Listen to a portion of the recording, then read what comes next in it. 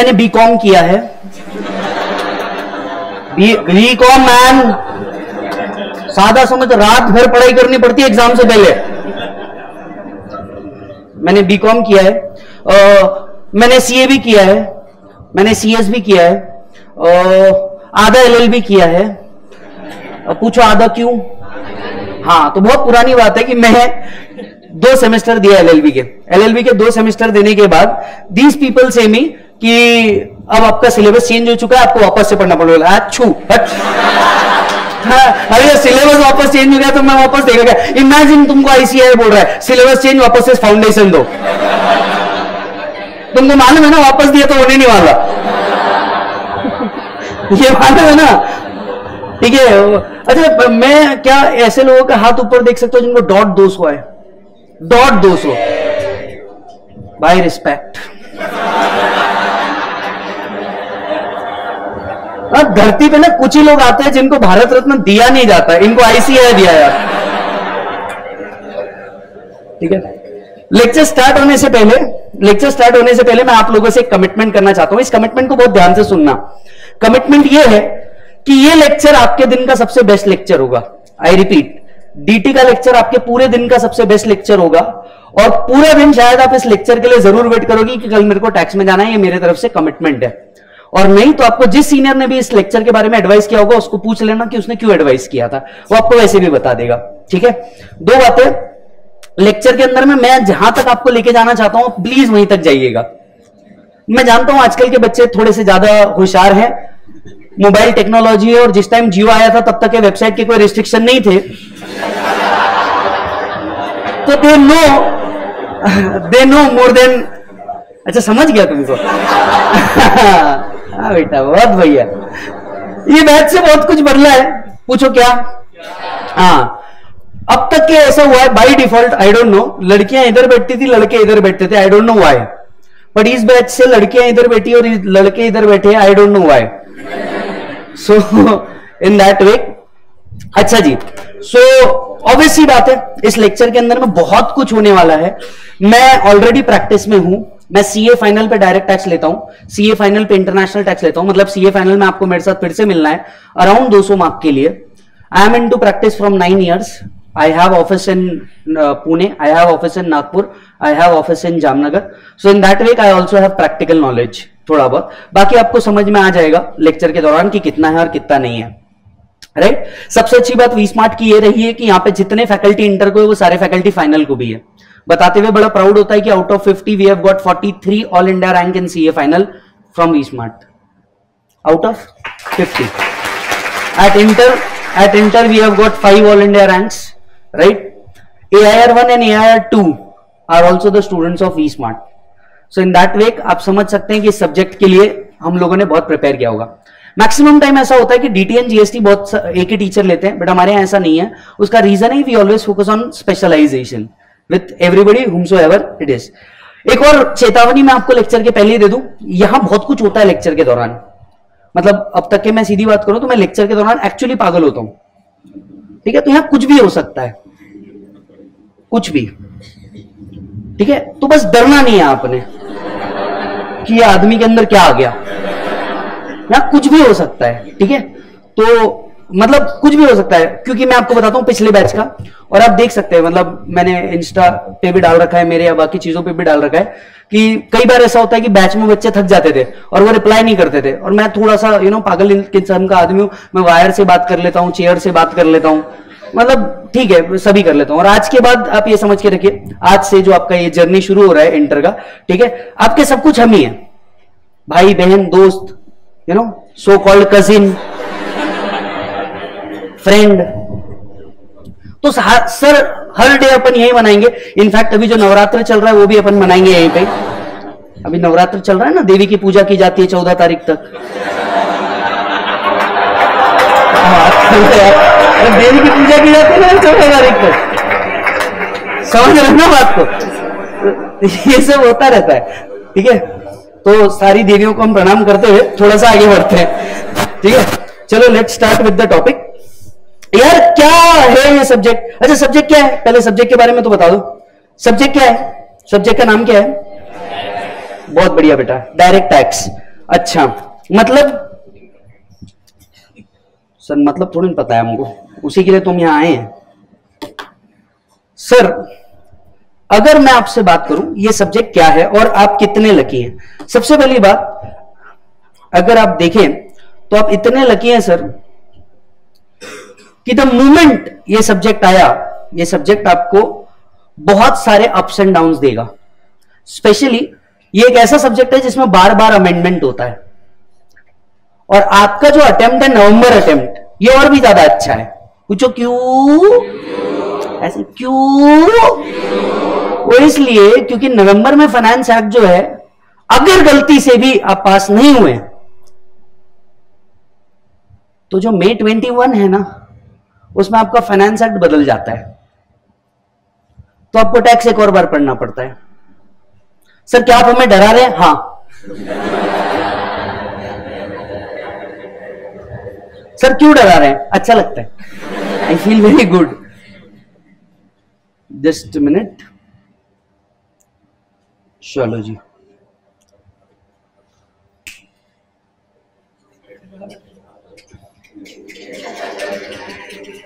क्या बात है चलो जी फाइनली हम स्टार्ट कर सकते हैं चलिए सबसे पहली बात सब्जेक्ट है और मैं अपने आप को बहुत एवरेज स्टूडेंट मानता हूं और इसी के लिए मैं बहुत जीरो से चालू करता हूं let start with the subject subject का नाम है इनकम टैक्स आज हम चार वर्ड पढ़ने वाले कितने वर्ड पढ़ने वाले मालिक चार चार वर्ड है इनकम टैक्स एक्ट 1961 फिर से एक बार मेरे साथ कहना इनकम टैक्स एक्ट 1961 ये चार वर्ड को ही आज अपने को पढ़ने का है ठीक है लेकिन अब आप ये पूछेंगे ये आखिर सब्जेक्ट आया कहां से किसने लाया क्यों लाया कहां से आएगा कहां को जाएगा कुछ तो पूछोगे ना ठीक है तो आपके मन में भी एक आ रहा होगा कि आखिर इस सब्जेक्ट की हिस्ट्री क्या है आखिर इस सब्जेक्ट की हिस्ट्री क्या है ये सब्जेक्ट आया कहां से ये सब्जेक्ट लाया किसने और किस तरीके से ये सब्जेक्ट वर्क करता है सर सब्जेक्ट बहुत प्यारा है इनकम टैक्स अगर हम सीधे सीधे इसकी हिस्ट्री की बात करें तो आखिर ये सब्जेक्ट लाया किसने वो कौन था जिसने हमारे को ये जिंदगी में डाल दिया सर आप लोगों ने कभी चाणक्य के बारे में सुना है ठीक है चाणक्य इन अर्थशास्त्र पहली बार इस वर्ड को लिखा उस टाइम इस वर्ड का नाम हुआ करता था कर क्या कर कर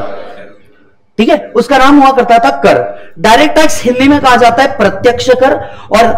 you know indirect tax Hindi में कहा जाता है अप्रत्यक्ष कर ठीक है तो इसे कर के नाम से जाना जाता था पहली बार राइट चाणक्य ने अर्थशास्त्र के अंदर में टैक्स का उल्लेख किया when it comes to Indian context और उन्होंने इस वर्ड को लेकर के आया then again Kalidas and Raghuvansh Kalidas in Raghuvansh जब इकोनॉमिक्स के बारे में बात कर रहे थे तो उन्होंने किंग से कहा कि सर हम लोगों को टैक्स लगाना है हम लोगों को कर लगाना है राइट द किंग क्या लगाना है प्रभु कर कर अरे करना क्या है हमें कर लगाना है उन्होंने बोला कैन यू प्लीज इलेबोरेट हमें करना क्या है उन्होंने कहा देखिए इस वर्ड को मेरे साथ बड़ा ध्यान से पढ़िएगा सभी लोग इस वर्ड को जो कालिदास ने लिखा तो अगर हम सबसे पहली बात करें in India taxes were levied even in the Asian time which is referred in Arthashastra that is economics इस वर्ड को जो कालिदास जी ने कहा ये एक बार मेरे साथ रिपीट कीजिए ये वो वर्ड थे जो उन्होंने किंग से कहे पहली बार टैक्स लगाते हुए कर लगाते हुए एवरीबॉडी जिसने आवाज नहीं निकाली उसे अटेम्प्ट की कसम ठीक है it is only for the good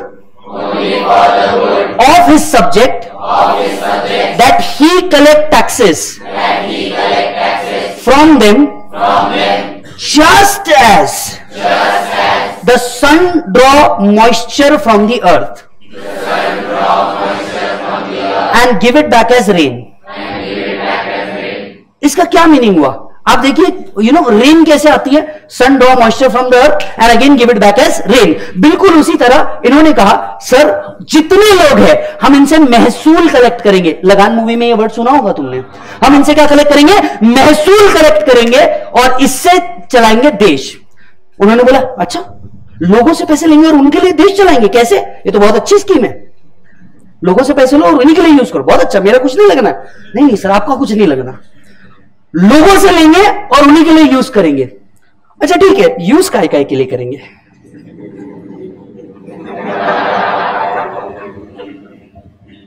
सुनिए हम लोग road dam bridge canal port airport ये सारी चीजें बनाने के लिए यूज करेंगे आप सोचिए बचपन से लेकर आज तक के तुमने कभी रोड यूज किया तुमने रोड यूज किया इलेक्ट्रिसिटी यूज की वाटर यूज की तुमने इसके लिए क्या पे किया कभी तुमने देश तुम्हारे को कभी देश के प्रधानमंत्री ने कहा भाई और बहनों आप जो सड़क यूज कर रहे हैं उसके लिए आपको टैक्स देना होगा क्या कभी किसी ने कहा मुझे पांच मिनट के लिए पीएम बनाइए ऐसा रोड बनाऊंगा यहां से रोड डाले वहां से निकला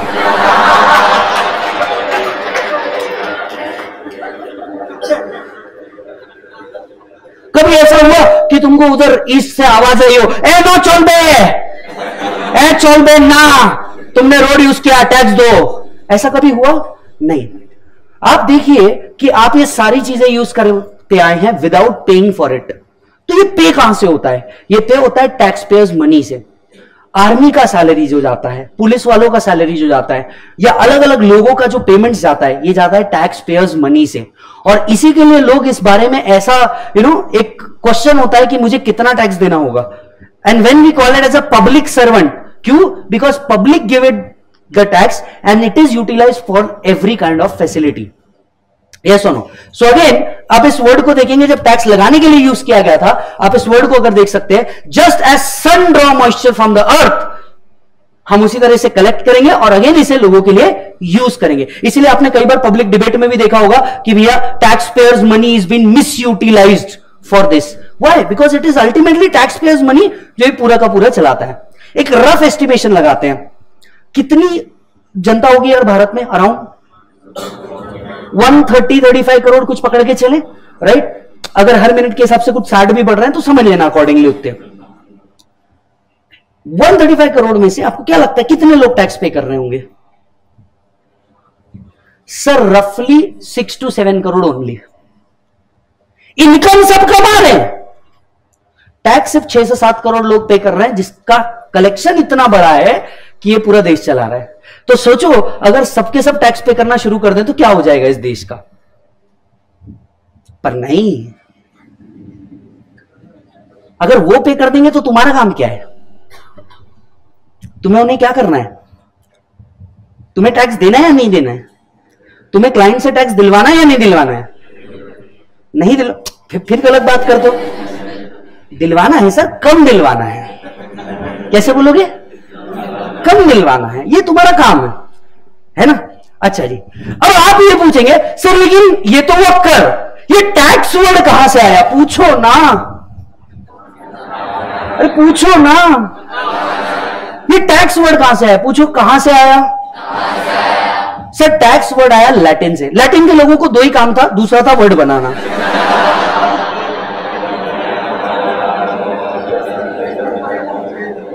पहला तो बाय डिफॉल्ट है ना so tax arises from a Latin word taxo tax arise from a Latin word taxo which means rate of tax which means rate of tax tax एक रेट से लगता है और इसे लैटिन भाषा में टैक्सो कहा गया which over the period of time tax हो गया सो so, कहां से स्टार्ट हुआ ये स्टार्ट हुआ कर कर से इसे पहली बार राजाओं के सामने लाया गया वहां से फर्स्ट टाइम लैटिन ने एक वर्ड निकाला कर को इंग्लिश वर्ड निकला टैक्सो जो अल्टीमेटली आज टैक्स के नाम से जाना जा रहा है आज हमें चार वर्ड पढ़ने थे इनकम टैक्स एक्ट 1961 पर हम पहले ये तो देखें आया कहां से है ये आया यहां से है ठीक है सर ये तो पता चल गया कि आखिर ये वर्ड निकाला किसने है पर वो था कौन जिसने इसको सिलेबस में लाया जिसने इसको एक्ट बनाया वो व्यक्ति कौन था बस मिल जाए मैं भी ढूंढ रहा हूं पर कोई तो होगा जिसने लाया यस 1860 1860 वाज द ईयर जब पहली बार सर जेम्स विल्सन बोलो कौन यस सर जेम्स विल्सन ने पहली बार इसको लेकर के आया इंडिया के अंदर में 1860 वाज द ईयर जब पहली बार इंडिया ने प्रैक्टिकली एक एक्ट को देखा वो था इनकम टैक्स एक्ट हालांकि ब्रिटिश पार्लियामेंट का था और जब पहली बार वो लेके आए कई नाक नुकुर हुई कि आना चाहिए नहीं आना चाहिए आना चाहिए नहीं आना चाहिए फर्स्ट टाइम इसे ब्रिटिश पार्लियामेंट के अंदर में पास किया गया इन द ईयर 1922 तो अगर अपन कहते हैं कि इनकम टैक्स एक्ट 1961 तो क्या 1961 में आया आंसर इज नो इसके पहले 1922 में टोटल कंप्लीट एक्ट बना so so, 1922 was the first year जब इंडिया ने टैक्स की शक्ल देखी और उसके पहले कोई प्रॉपर एक्ट नहीं हुआ करता था बस ब्रिटिश सरकार द्वारा लगाया जाता था प्रॉपर एक्ट बना इनकम टैक्स एक्ट 1922 पर सर अभी तो हम 1961 पढ़ रहे हैं ना तो 1922 से 61 तक क्या हुआ मुझे वो भी जानना है मैंने बोला ओके आगे सुन 1947 में मिली हमें आजादी बराबर है और इसके बाद 1961 में इस एक्ट को चेंज किया गया और बनाया गया इनकम टैक्स एक्ट 1961 अब आप ये पूछेंगे कि जब एक्ट ऑलरेडी था तो एक और की क्या जरूरत है नहीं मतलब जनरल ये होता है ना जब आपके पास एक हो तो दूसरे की जरूरत नहीं होती हाँ तो दूसरा सवाल जब हमारे पास एक एक्ट था 1922 में तो 1961 में फिर से एक्ट एक्ट की जरूरत क्यों पड़ी पूछो ना क्यों बेटा वो इसलिए क्योंकि 1922 में जो एक्ट लिखा था उसमें हर जगह वर्ड था British parliament British parliament British parliament और अब जो एक्ट बन चुका था वो था इंडिपेंडेंट इंडिया का एक्ट यहां पे ब्रिटिश पार्लियामेंट तो था ही नहीं इंडियन पार्लियामेंट था इसलिए कई चीजों को ब्रिटिश पार्लियामेंट की जगह पे आपके वर्ड्स चेंज किए गए और नए डोमेस्टिक लॉ की जरूरत पड़ी जो 1961 में बना बिकॉज उसके अंदर में टेक्निकल इश्यूज थे जो अब हटा दिए गए सो वापस से स्टार्ट करते हैं सबसे पहले हिस्ट्री क्या ये वर्ड पहली बार देखा था इंडिया ने नहीं एशियन टाइम से था राइट चाणक्य ने फर्स्ट टाइम लाया था कालिदास ने रघुवंश में भी बोला था कि टैक्स का कैसे टैक्स को कैसे कलेक्ट किया जाएगा just as sun draw moisture from earth and give it back as rain ठीक उसी तरह लोगों से लिया जाएगा और लोगों को फैसिलिटी के तौर पे दिया जाएगा टैक्स वर्ड कहां से आया मेरे भाई लैटिन हाँ लैटिन क्या वर्ड है बेटा टैक्सो विच मीन्स रेट अच्छा इंडिया में इसे किसने लाया जेम्स विल्सन ईयर क्या था 1860 हां तो जेम्स विल्सन ने एक्ट लाया था राइट उनने सिर्फ टैक्स लाया था पहली बार एक्ट कब बना 1922 वापस से एक और एक्ट कब बना 1961 एक मिनट जब एक्ट ऑलरेडी था तो जरूरत क्यों थी वर्ड थे ब्रिटिश पार्लियामेंट के अच्छा एक मिनट एक्ट आया 1961 में रूल्स आया 1962 में रूल्स कब आए आपके मन में एक सवाल आना चाहिए what is the difference between tax and rules ये वर्ड को याद रखिएगा आज लेक्चर से पहले ये वर्ड हो जाएगा कि what is the difference between tax and rules register register लाए हो पेन भी लाए होंगे बुक निकालो लिखना चालू करो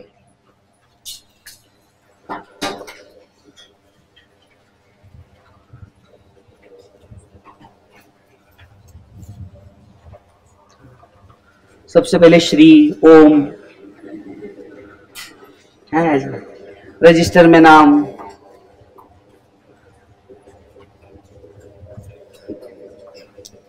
बराबर write down history of income tax history of income tax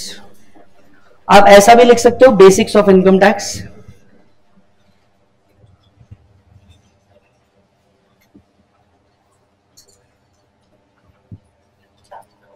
पूरा नहीं लिखना है जितने पॉइंट बोलूंगा उतने ही लिखना है point number one tax arise from a Latin word tax arise सीधा ये पॉइंट लिखना है tax arise from a Latin word taxo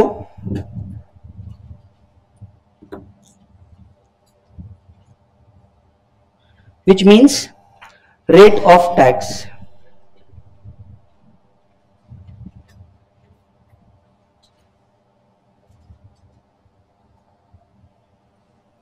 which means rate of tax.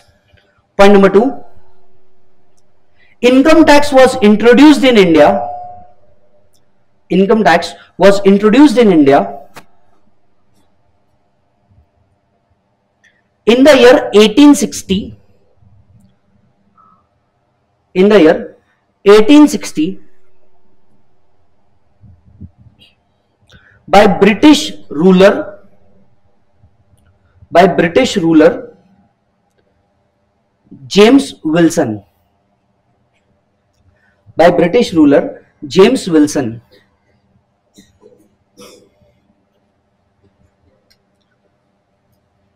Then point number three. Earlier there was Income Tax Act 1922.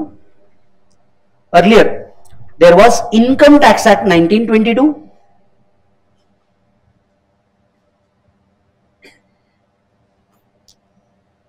Now, Income Tax Act 1961.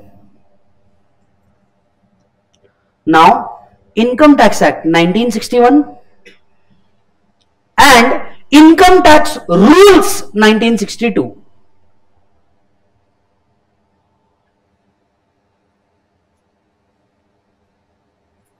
Done so tax arise from Latin word taxo 1922 में पहली बार आया फिर 1961 में आया आपको reason पता चल गया ऐसा क्यों हुआ ठीक है अब जाहिर सी बात है आपके मन में एक सवाल आता होगा right look at the screen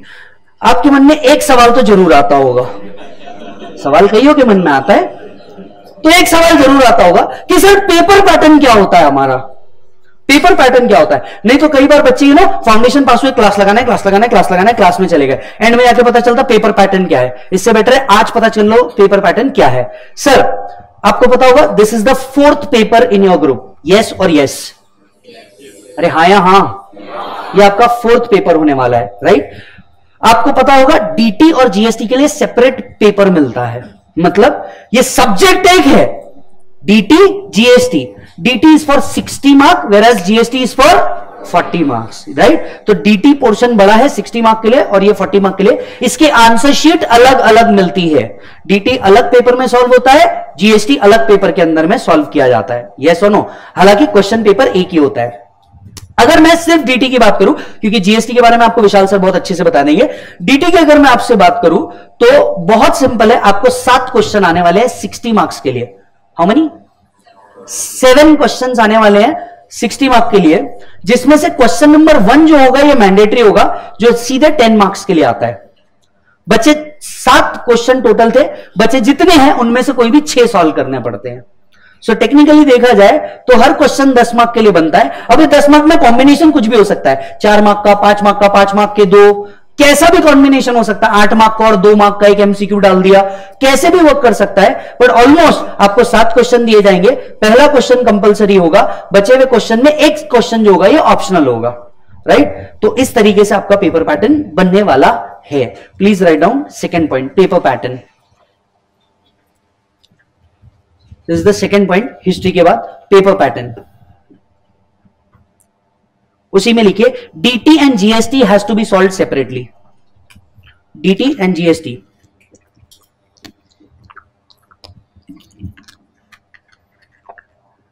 has to be solve separately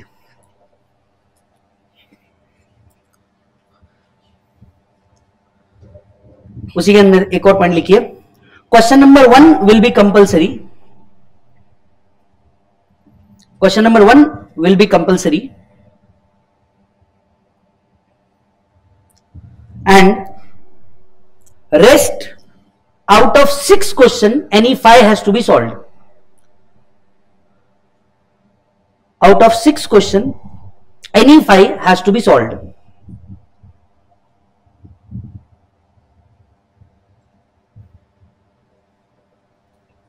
paper pattern clear हो गया डीटी कितने मार्क को आ रहा है मालिक सिक्सटी और जीएसटी कितने को है फोर्टी तो जीएसटी का पूरा हर चीज विशाल सर बता देंगे आपको राइट अब आगे बढ़ते हैं आपके मन में एक सवाल आ रहा होगा sir what is the basis of taxation of income tax मतलब इनकम टैक्स जब लगाया जाता है इसका बेसिस क्या होता है बेटा ये एक बहुत इंपॉर्टेंट एमसीक्यू क्वेश्चन है राइट right? कि डीटी जब लगाया जाता है इसका बेसिस क्या होता है इसका बेसिस होता है बेटा प्रोग्रेसिव बेसिस क्या बेसिस होता है वापस बोलो प्रोग्रेसिव बेसिस अब आप ये पूछेंगे सर प्रोग्रेसिव बेसिस मतलब क्या होता है प्रोग्रेसिव बेसिस का मतलब होता है higher the income higher the tax फिर से कहो एक बार आपकी जितनी इनकम बढ़ती जाएगी आपका उतना टैक्स बढ़ता जाएगा लॉजिक बड़ा सिंपल था अमीरों से लो गरीबों को दो रॉबिन हुड पांडे क्या था लॉजिक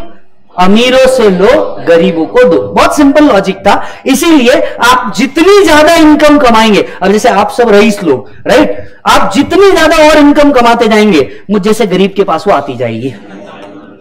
बराबर है सो यू नो अमीर हुए कि नहीं हुए तुम if you can afford me आप अमीर हुए लॉजिक है कि नहीं है भाई so the point is the point is जितनी ज्यादा आपकी इनकम उतना ज्यादा आपका टैक्स इसे हम कहते हैं प्रोग्रेसिव टैक्सेशन द मोमेंट आपकी इनकम बढ़ती जाएगी आपको ज्यादा टैक्स पे करना होगा राइट सो थर्ड पॉइंट लिखिए the basis of taxation in India the basis of taxation in India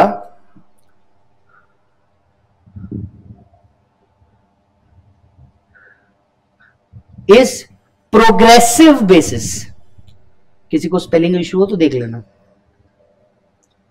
is progressive basis bracket में लिख देना एमसीक्यू दैट इज उसी के आगे कंटिन्यू कीजिए that is higher the income higher the tax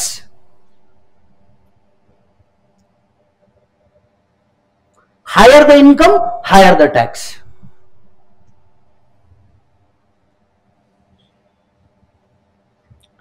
याद रखिए यहां तक आपको और मेरा एक सवाल चालू है what is the difference between tax and rules हमें सब कितने वर्ड पढ़ने हैं चार इनकम टैक्स एक्ट 1961 तो चलिए एक एक वर्ड को खोदना चालू करते हैं अपन बता रहे बच्चे अपन और डीप में जाएंगे और जीरो पे जाएंगे ये एक्ट मतलब क्या होता है देखिए चार वर्ड हमें पढ़ना है चार वर्ड मैं आपको फिर से एक बार बता रहा हूं ठीक है ध्यान से सुनना बहुत चार वर्ड है इनकम टैक्स एक्ट 1961 मैं जरा एवरेज बच्चों मेरे को डीप में जाना पसंद है पहले मैं इस वर्ड को खोदूंगा एक्ट क्या होता है आखिर ये एक्ट होता क्या है ठीक है तो चलो आगे बढ़ते हैं ऐसी कई चीजें जो तुमने पढ़ी है लेकिन और डिटेल में शायद पढ़ने की जरूरत है कुछ वर्ड्स है जो शायद तुमने पढ़े और और डिटेल में पढ़ने की जरूरत है जो सवाल अब मैं पूछने जा रहा हूं और जिसको पूछे उसने ये जवाब देना it will be a Cadbury five star question Cadbury five star question जिसने इसका जवाब दिया उसको एक चॉकलेट मिलेगा मेरे तरफ से दैट टू फ्री और ऐसा होता रहेगा लेक्चर में मूवी टिकट वगैरह भी मिलती है सिंगल मूवी टिकट मेरे तरफ से मिलेगी कपल में तुमको जाना उसके टिकट भी मैं भरू तो आपने जवाब दिया आपको मिला और बहुत सारी ऐसी चीजें मिलती रहती है it's just reward for your knowledge that's it ठीक है जिससे पूछू उसने सवाल का जवाब दे देना आपके स्क्रीन पे कुछ दिख रहा है आपको बराबर है यस बेटा रीड इट क्या है section two section one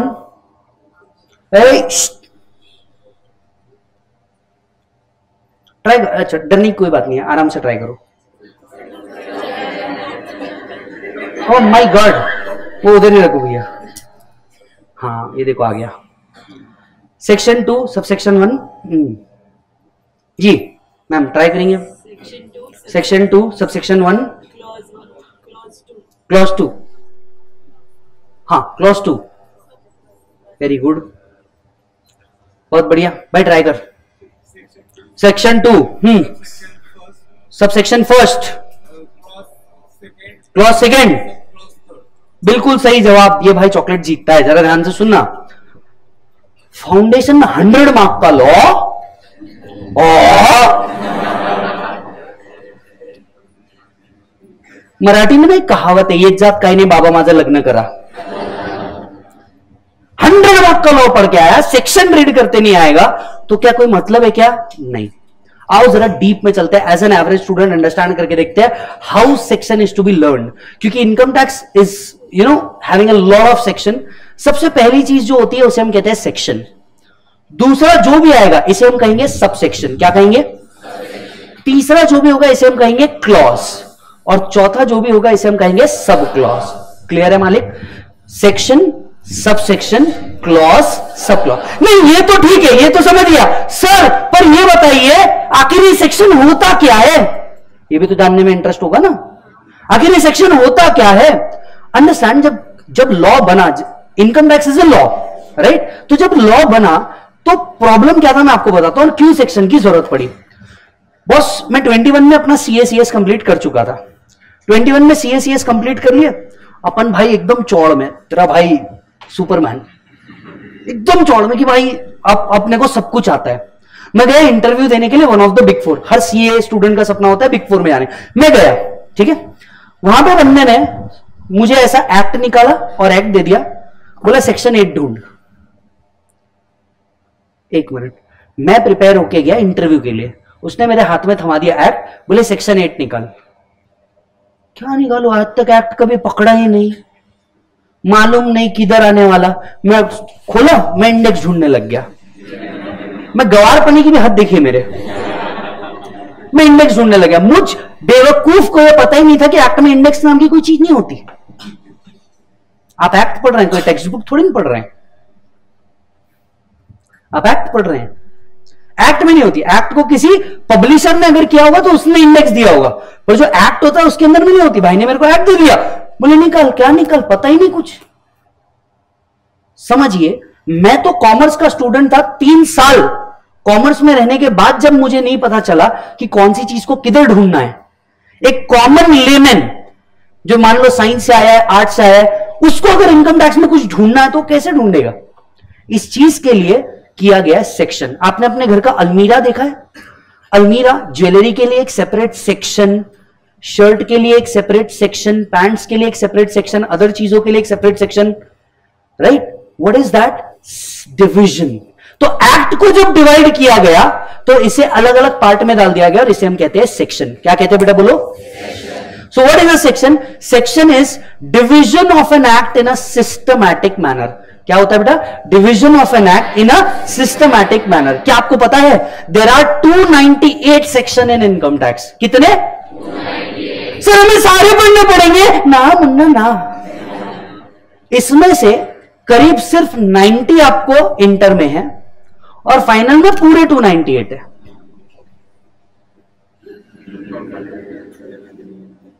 मैं फिर से एक बार कह दूं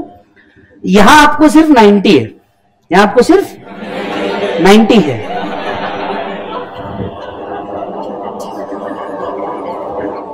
और पूरे टू एट मतलब जो यहां पढ़ रहे हो वो वापस से फाइनल में है टू नाइनटी एट वहां है लेकिन ये सिर्फ बोलने के लिए टू नाइनटी एट है एक्चुअल में सेवन फिफ्टी एट सेक्शन है इनकम टैक्स में पूछो कैसे क्या हुआ ये लोग है ना थोड़े से बेवकूफ किस्म के लोग थे पूछो कैसे सेक्शन 35 को इन्होंने नंबर में सिर्फ 35 काउंट किया लेकिन इसके आगे 35, 35 D 35 C 35 C C D number में ये सब काउंट नहीं हुए नंबर में सिर्फ 35 काउंट हुआ तो ऐसे जो इसके आगे के एबीसीडी फिर से पढ़नी है वो सब ये इसमें भूल गए तो प्रिसाइसली देखे तो 758 सेक्शन है अदरवाइज नंबर के हिसाब से सिर्फ 298 सेक्शन है और ये सिर्फ सेक्शन की बात कर रहे हैं हम रूल्स प्रोविजन सर्कुलर नोटिफिकेशन और बाकी चीजों की बात नहीं कर रहे ये सिर्फ सेक्शन राइट कितना अच्छा हो अगर मैं ये आज लिख लू तो मैं मेरी बुक में लिख रहा हूं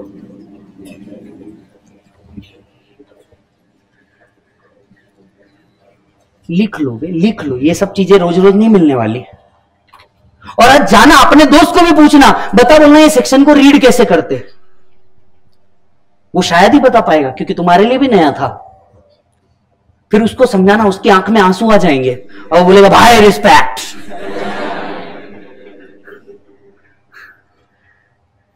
आज उससे ये भी पूछना इनकम टैक्स में सेक्शन कितने बता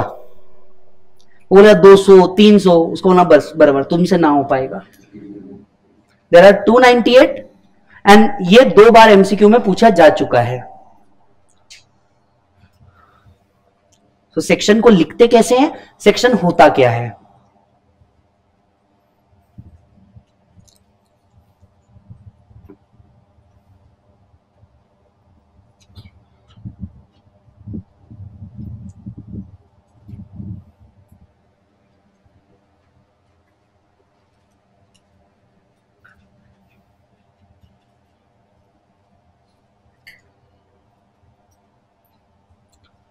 so section section clause sub clause section क्या है division of an act in a systematic manner जब एक एक्ट को एक सिस्टमैटिक मैनर में डिवाइड कर दे जैसे अलमीरा उसे हम कहते हैं सेक्शन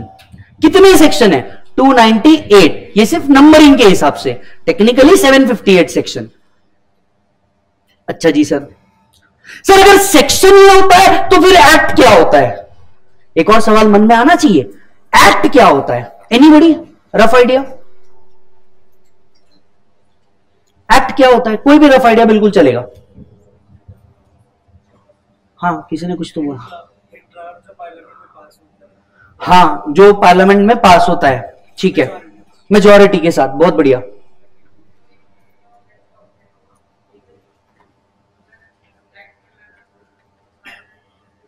बिल्कुल अगर कोई भी चीज हमें लीगल में लाना हो तो हम पार्लियामेंट के थ्रू जाते हैं और लेके आते हैं ये दोनों भाइयों ने मेरे ये दोनों भाइयों ने मेरे पार्लियामेंट की बात करी बोलो हाँ या हाँ ठीक है मैं आपके सामने I object I object my lord ये दोनों व्यक्ति गलत बोल रहे आई ऑब्जेक्ट नहीं आई ऑब्जेक्ट ये गलत बोल रहे हैं माई लॉर्ड और मैं प्रूव कर सकता हूं ये दोनों वकील गलत बोल रहे हैं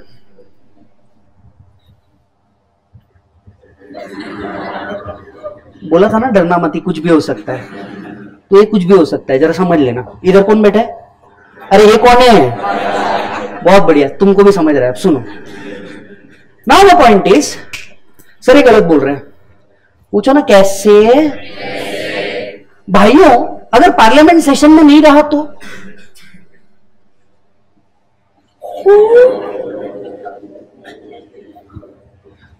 लॉ तो तब लाओगे ना जब पार्लियामेंट है ऐसा इनने कहा सुन रहे हो ना ऐसा किनने कहा इनने पार्लियामेंट सेशन में नहीं रहा तो क्या बारह महीने पार्लियामेंट सेशन में होता है अरे हाँ या हाँ आनी ना पार्लियामेंट बारह महीने सेशन में होता है हम्म। पार्लियामेंट बारह महीने सेशन में नहीं होता तो फिर तब तो लॉ बनते ही नहीं होंगे आप मेरी बात समझ रही है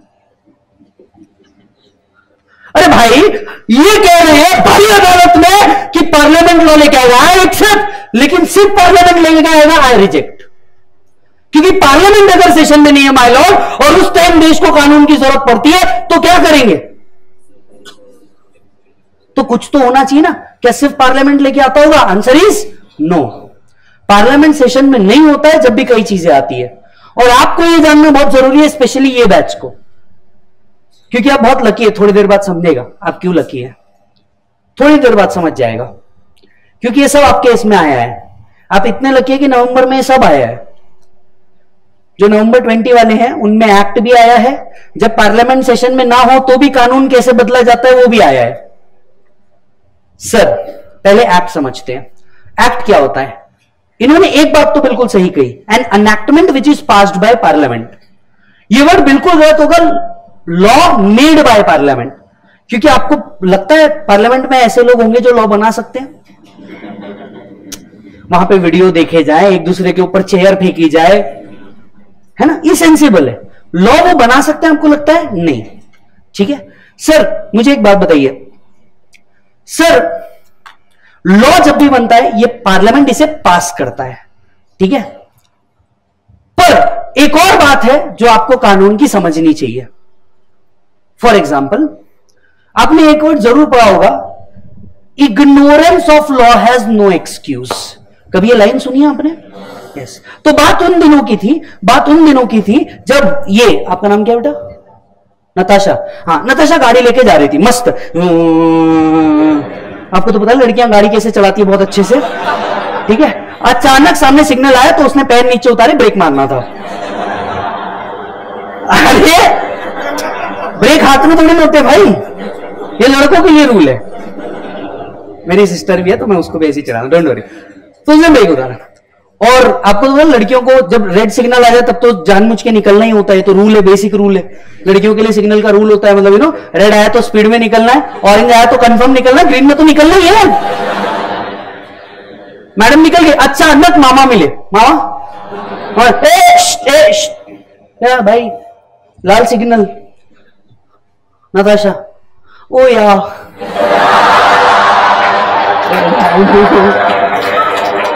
yeah. हाँ तो क्या आपको रुकना था उधर चलो चालान भरना पड़ेगा चलो नताशा ना ना नो नो नो प्लीज मेरे को थोड़ी मालूम था ऐसा करते हैं नहीं मालूम था मतलब नहीं हमारे सिलेबस में नहीं था ये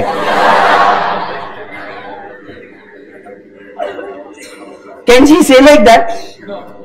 हा या ना ignorance of law has no excuse आप ये नहीं बोल सकते मैंने उस मैंने वो कानून नहीं पढ़ा तो मेरे को नहीं पता ये ऐसा होने वाला है so I don't know this law you can not see that that ठीक उसी तरीके से इनकम टैक्स चोरी करने के बाद कोई ये नहीं कह सकता मुझे नहीं पता था कि इनकम टैक्स चोरी करने पे ये होता है hence one need to understand जब भी कोई एक्ट बन जाता है ignorance of law has excuse getting it or not so please write down act any enactment word pe ध्यान देना passed by parliament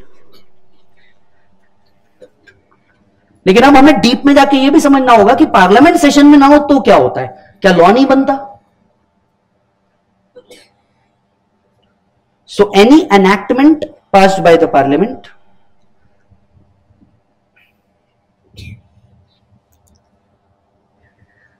second point ignorance of law has no excuse ignorance of law has no excuse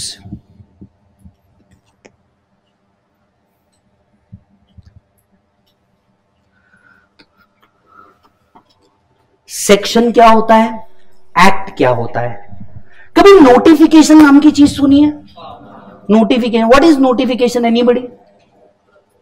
कुछ भी rough idea मैं नहीं मैं बिल्कुल जानता हूं फर्स्ट डे है और आपसे बिल्कुल एक्सपेक्टेड नहीं है बट रफ आइडिया हो तो भी चलेगा एंड प्लीज आप एक बात समझिए आपको यहां पे बोलना पड़ेगा अब आप थोड़े से डिफरेंट क्लास में हो ठीक है ये आपको अब तक के आधे घंटे में समझ में आ चुका होगा कि ये ना आम क्लास नहीं है ना आम आदमी तुमको पढ़ा रहा है ठीक है तो तुमको थोड़ा सा स्पोकन होना पड़ेगा कुछ भी अगर लगता है सही हो गलत हो डजेंट मैटर प्लीज बोलो what is notification anybody information okay okay, देना एक नोटिफिकेशन होता है एनीबडी जी बेटा हाँ ऐसी चीज जो एक्ट में नहीं हो वो लोगों तक पहुंचाना नोटिफिकेशन हो जाएगा ठीक है एनीबडी एल्स जी बेटा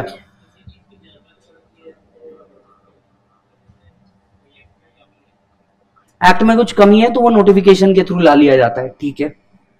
और इंस्ट्रक्शंस बोल सकते हैं हम उसको ठीक है इंस्ट्रक्शंस बहुत सही जा रहे हो और कुछ अच्छा मुझे एक बात बताओ एक्ट में कुछ लिखा है और नोटिफिकेशन आया क्या प्रिवेल करेगा एक्ट या नोटिफिकेशन एक्ट में लिखा है रिटर्न भरना है 30 जुलाई को 31 जुलाई को नोटिफिकेशन आता है कि बॉस आप 5 अगस्त तक के भी भर सकते हैं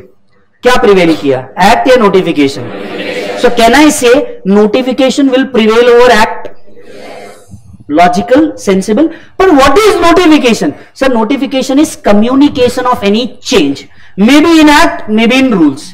for example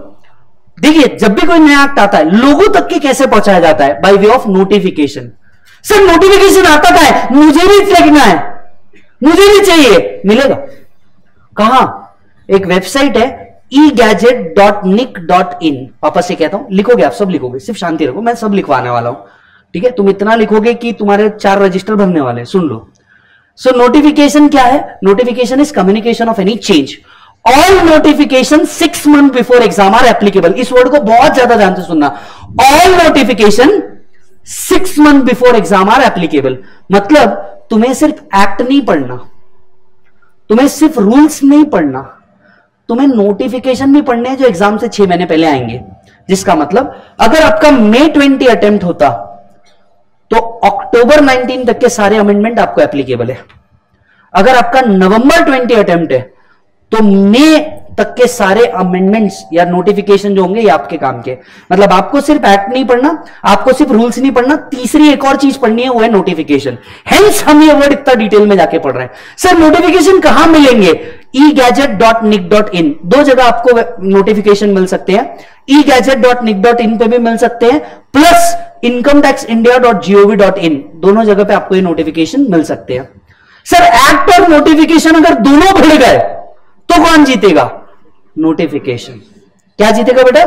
नोटिफिकेशन नोटिफिकेशन जीतेगा अच्छा जी सर सो इसीलिए आप देख सकते हैं यहां पे चार चीजें आपको देखने को मिल रही है communication of any change in act or rules all notification six month before exams are applicable notification are available at www.egadget.nic.in. If notification is in contravention to act, the notification shall prevail. मैंने आपको example दे दिया right right? कि generally return भरने की due date thirty first July लेकिन वो आगे बढ़ती ही है और इसी के लिए ये आ जाता है जो भी नोटिफिकेशन रहेगा वो प्रिवेल हो जाता है नोटिफिकेशन इश्यू कौन करता है सीबीडीटी कौन इश्यू करता है अब आप ये पूछेंगे सीबीडीटी मतलब क्या है ये आपको आ गया दूसरा सवाल पहला सवाल क्या था आपका एक्ट और रूल्स में फर्क क्या है दूसरा सवाल क्या है आपका सीबीडीटी क्या है पहले नोटिफिकेशन लिख लो जाएंगे उस पर भी so what is notification communication of any change in act and rules communication of any change in act and rules.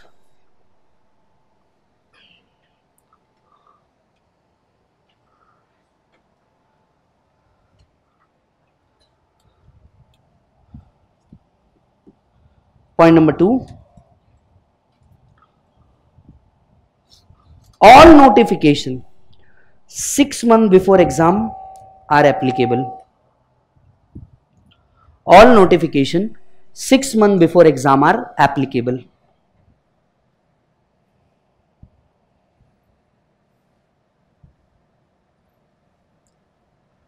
Point number 3.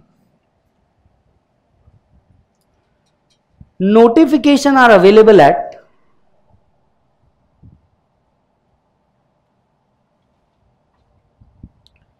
egadget dot nic.in.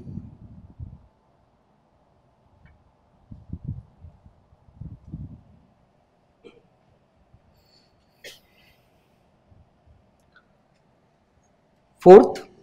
if notification is in contravention to act, if notification is in contravention to act,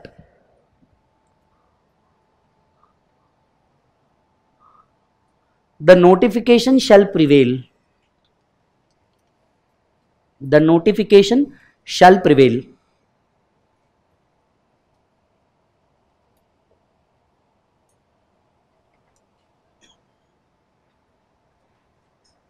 and last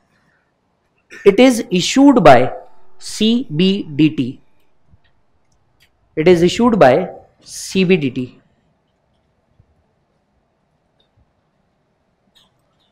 कितने लोगों को नई चीज पता चली कुछ माँ कसम नोटिफिकेशन नहीं मालूम था तुम लोग को बहुत बढ़िया वेरी गुड चलो कुछ तो नया मिला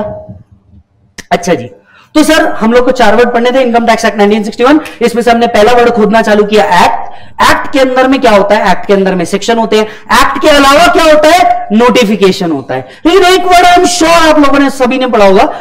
it is circular have you heard about this word circular anybody circular नाम की चीज क्या होती है कि सर्कुलर आया क्या आया एग्जैक्टली सर्कुलर आया क्या आया नोटिस पर नोटिस तो अभी आपने ये बोल दिया नोटिफिकेशन तो सर्क्यूलर क्या आया है जी बेटे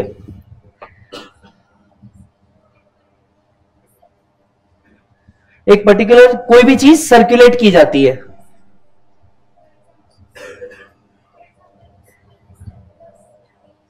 हाँ मैं स्कूल में सर्कुलर दिए जाते थे पूरी क्लास को बांट दो ऐसा types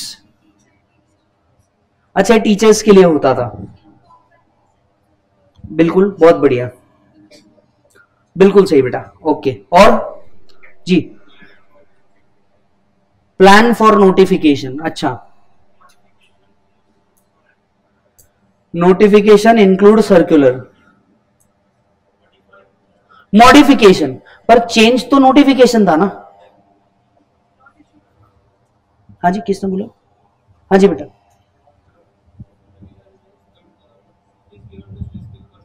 notice given to specific person is circular अच्छा हाँ कुछ और डिटेल्स प्रोवाइड करना तो फिर नोटिफिकेशन क्या था बेटा नोटिफिकेशन सर नोटिफिकेशन सर्कुलर में इंक्लूड होता है मतलब सर्कुलर सर्कुलर के अंदर नोटिफिकेशन ऐसे ना नोट अच्छा हाँ नोटिफिकेशन के थ्रू सर्कुलर आता है बहुत बढ़िया मस्त तो।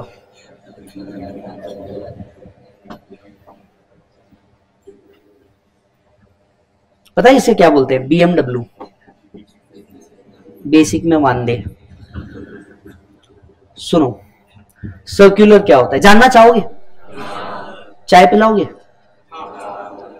आप मुझे चाय पिलाओगे अगर बता दू तो पिलाओगे ना चलो ध्यान से सुनो तो सर्कुलर मतलब क्या होता है जरा ध्यान से सुनना see should I tell you or should I show you should I tell you or should I show you show करो हाँ चलो रुको मजा आएगा इधर देखना सभी लोग पार्टिसिपेट करें सारी महिलाएं पुरुष बाकी सब सब फोकस करना ठीक है मैं आपके सामने यहाँ पे कुछ ड्रॉ कर रहा हूं और हर एक को अगले पांच मिनट आजादी है वो बोलने की जो वो इस चीज को देख के सोचेगा अगले पांच मिनट आप पूरे फ्री हैं जो चाहे वो बोल सकते हैं इस ऑब्जेक्ट को देख के हाँ भाई ठीक है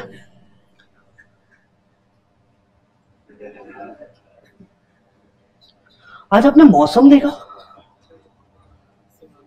है ना नहीं मौसम मौसम पे फोकस मत करो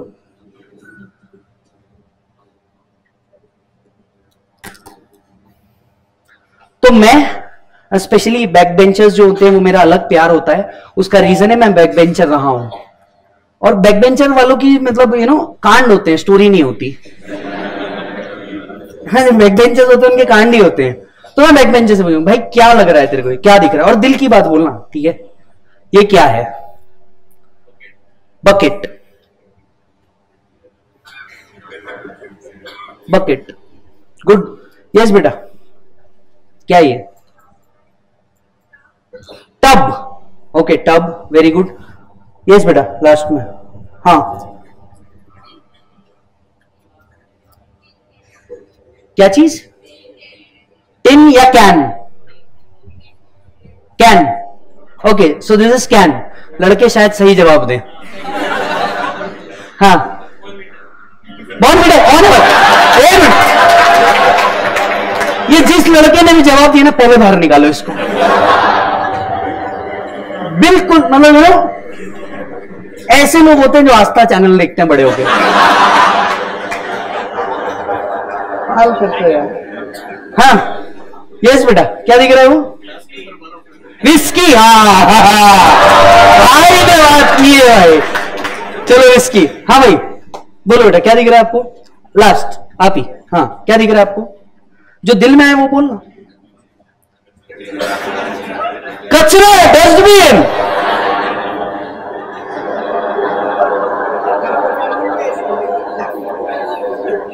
साला मेरे को ड्राइंग में डी आया था ये नहीं पता था इतना खराब ड्रॉ करूंगा यार चलो बहुत बढ़िया और कुछ यस ये लास्ट में यस भाई क्या दिख रहा है वो बकेट दिख रहा है और वो जो बीच में है फिर वो क्या है बर्फ हाँ बकेट में बर्फ आज ठंडे पानी से नहाना है विस्की की ग्लास में बर्फ है बहुत बढ़िया बहुत सही जा रहे हो और और एक दो जन कोई भी बोल हाँ जी there is something in a glass interpretation boss bucket में पानी और बकेट में पानी और स्टोन अब चलो ठीक है ठीक है अब इस पॉइंट को अंडरस्टैंड करना देखिए पढ़ाने के कई तरीके होते हैं मेरा थोड़ा अलग है ठीक है आपने क्या किया मैंने आपके सामने एक ऑब्जेक्ट रखा आपने अपनी इच्छा एक्सपीरियंस मूड या अदर चीजों के हिसाब से इसे डिसाइड किया ठीक है अब इमेजिन लॉ भी तो ऐसा ही होगा ना किसी ने बनाया यू you नो know, किसी को जब लग रहा था 1961 में उसने बना दिया दीदी की आंखों पे पट्टी थी वो पता है ना तराजू लेके वाली दीदी दीदी की आंखों पे पट्टी थी कोई लॉ बना गया ऐसा कैसे चलेगा दीदी वाला टाइप्स तो दीदी ने लॉ बना दिया अब law make you know law बना के रख दिया ये है लॉ हर व्यक्ति ने इसे अपने हिसाब से इंटरप्रिट किया किसी ने बोला इसमें विस्की है किसी ने बोला बॉनविटा है किसी ने बोला कचरा है किसी ने पानी है पानी में आइस है सब अपने हिसाब से किया अब इमेजिन करो ऐसा बिल्कुल हो सकता है कि इनकम टैक्स का लॉ लिख दिया commissioner of income tax Pune इसे बॉनविटा माने commissioner of income tax Delhi इसे विस्की माने commissioner of income tax Kolkata इसे बकेट माने with ice commissioner of income tax Pondicherry इसे समथिंग इन द बकेट माने एक ही लॉ पे अगर इतने इंटरप्रिटेशन आ गए आपको नहीं लगता लोगों का भरोसा उड़ जाएगा डिपार्टमेंट से इमेजिन आपका पेट दुख रहा था आप डॉक्टर के पास गए डॉक्टर मेरा बहुत पेट दुख रहा है मेरा बहुत पेट दुख रहा है पहला डॉक्टर कुछ नहीं कुछ नहीं आपको गैस हुआ है जाओ दूसरे के पास आप सेकंड ओपिनियन लेने गए सर बहुत जोर से पेट दुख रहा है तो कुछ नहीं कुछ नहीं एसिडिटी है जाओ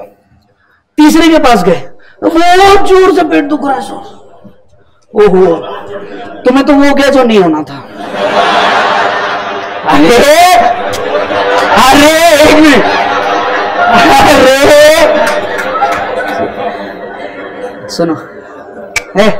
गंदे मेरे को बिगाड़ रहे हो तुम लोग सुनो इमेजिन अगर हम सेम प्रॉब्लम लेके अलग अलग डॉक्टर के पास गए और अलग अलग डॉक्टर का अलग अलग ओपिनियन आया आपको नहीं लगता लोगों का डॉक्टर पे से भरोसा उड़ जाएगा हाँ या हाँ ठीक उसी तरह अगर एक ही लॉ को लोग अलग अलग तरीके से पढ़े उसका इंटरप्रिटेशन अलग अलग तरीके से निकालें तो इनकम टैक्स डिपार्टमेंट पे से भरोसा उड़ जाएगा कई बार ऐसा होता है एक ही लॉ को खुद ऑफिसर ही अलग अलग तरीके से इंटरप्रिट कर देते अब इसका इंपैक्ट क्या होगा यहां का ऑफिसर कुछ और इंटरप्रेट कर रहा है मुंबई का ऑफिसर कुछ और इंटरप्रेट कर रहा है दिल्ली का ऑफिसर कुछ और इंटरप्रेट कर रहा है कोलकाता का ऑफिसर कुछ और इंटरप्रेट कर रहा है फर्क क्या पड़ेगा टैक्स पेयर का भरोसा उड़ जाएगा डिपार्टमेंट के ऊपर से इसीलिए क्या किया जाता है सर्क्यूलर निकाला जाता है इसी के लिए क्या किया जाता है बेटा सर्क्यूलर निकाला जाता है what is circular circular is clarification of any doubt what is circular clarification of any doubt circular आता क्यों है सर्कुलर के पीछे का लॉजिक क्या है सर्कुलर डिपार्टमेंट के लिए निकलता है असेसी के लिए नहीं हमारा ओपिनियन स्टिल कुछ और हो सकता है एज अ टैक्स पेयर हमारा ओपिनियन अलग हो सकता है क्योंकि आपकी आपकी मेरी और इनकी थिंकिंग एक नहीं हो सकती हमारे ओपिनियन अलग हो सकते हैं पर डिपार्टमेंट का ओपिनियन तो एक ही होना चाहिए अरे हाया ना बच्चे अलग अलग हो सकते हैं लेकिन मां के लिए तो सब एक ही होने चाहिए ना अरे हाँ तो ठीक उसी तरीके से डिपार्टमेंट क्या निकालता है बेटा डिपार्टमेंट निकालता है सर्कुलर किसके क्लैरिटी के लिए डिपार्टमेंट के क्लैरिटी के लिए कि उसके ऑफिसर जितने भी हैं ऑल ओवर इंडिया ये सब एक ही ओपिनियन ले किसी भी ऑब्जेक्ट के ऊपर so what is circular circular is clarification of any doubt whether in act whether in rules कौन निकालता है सीबीडीटी और circular six month before exam are applicable all circular six month before exam are applicable तो अब मैं आपसे पूछता हूं क्या मेरे बच्चे को सिर्फ एक्ट पढ़ना है सिर्फ रूल्स पढ़ने हैं सिर्फ नोटिफिकेशन पढ़ना है सर्कुलर भी पढ़ना है आपको झूठ कहा गया है आपको सिर्फ इनकम टैक्स पढ़ना है these are all became part and parcel of your act क्योंकि एक्ट ऐसे ही रीड होता है समझ में आया आज जाना अपने दोस्त को भी बताना चल बता सर्कुलर क्या है नहीं नहीं बता ना तूने भी टैक्स पढ़ा ना बता सर्कुलर क्या है वो बता नहीं पाएगा जब आप उसको वापस से दिल्ली मुंबई और ये डॉक्टर दिखाओगे तो उसके आंख में आंसू आ जाएंगे बोल भाई रिस्पेक्ट समझ में बात चलिए लिखिए what is circular clarification of any doubt in act or rules clarification of any doubt in act or rules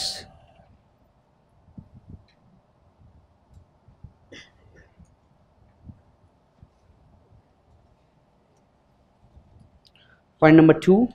it is issued by CBDT ला ये तो वही सवाल है ना जो अपना पेंडिंग चल रहा है सीबीडीटी मैंने आपको इसका फुल फॉर्म भी नहीं बताया है बस ये वर्ड है जो अपना पेंडिंग चल रहा है तीसरा it is binding on income tax authority मेरे लाल किस पे बाइंडिंग है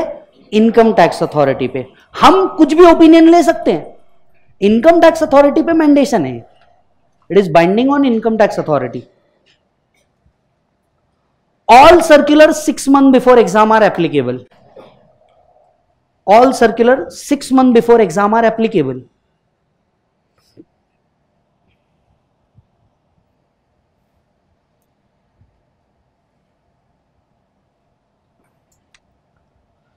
sir sir मुझे भी सर्कुलर चाहिए कहां मिलेगा इनकम टैक्स की वेबसाइट पे income tax India dot GOV dot in please write down circular are available on the website are available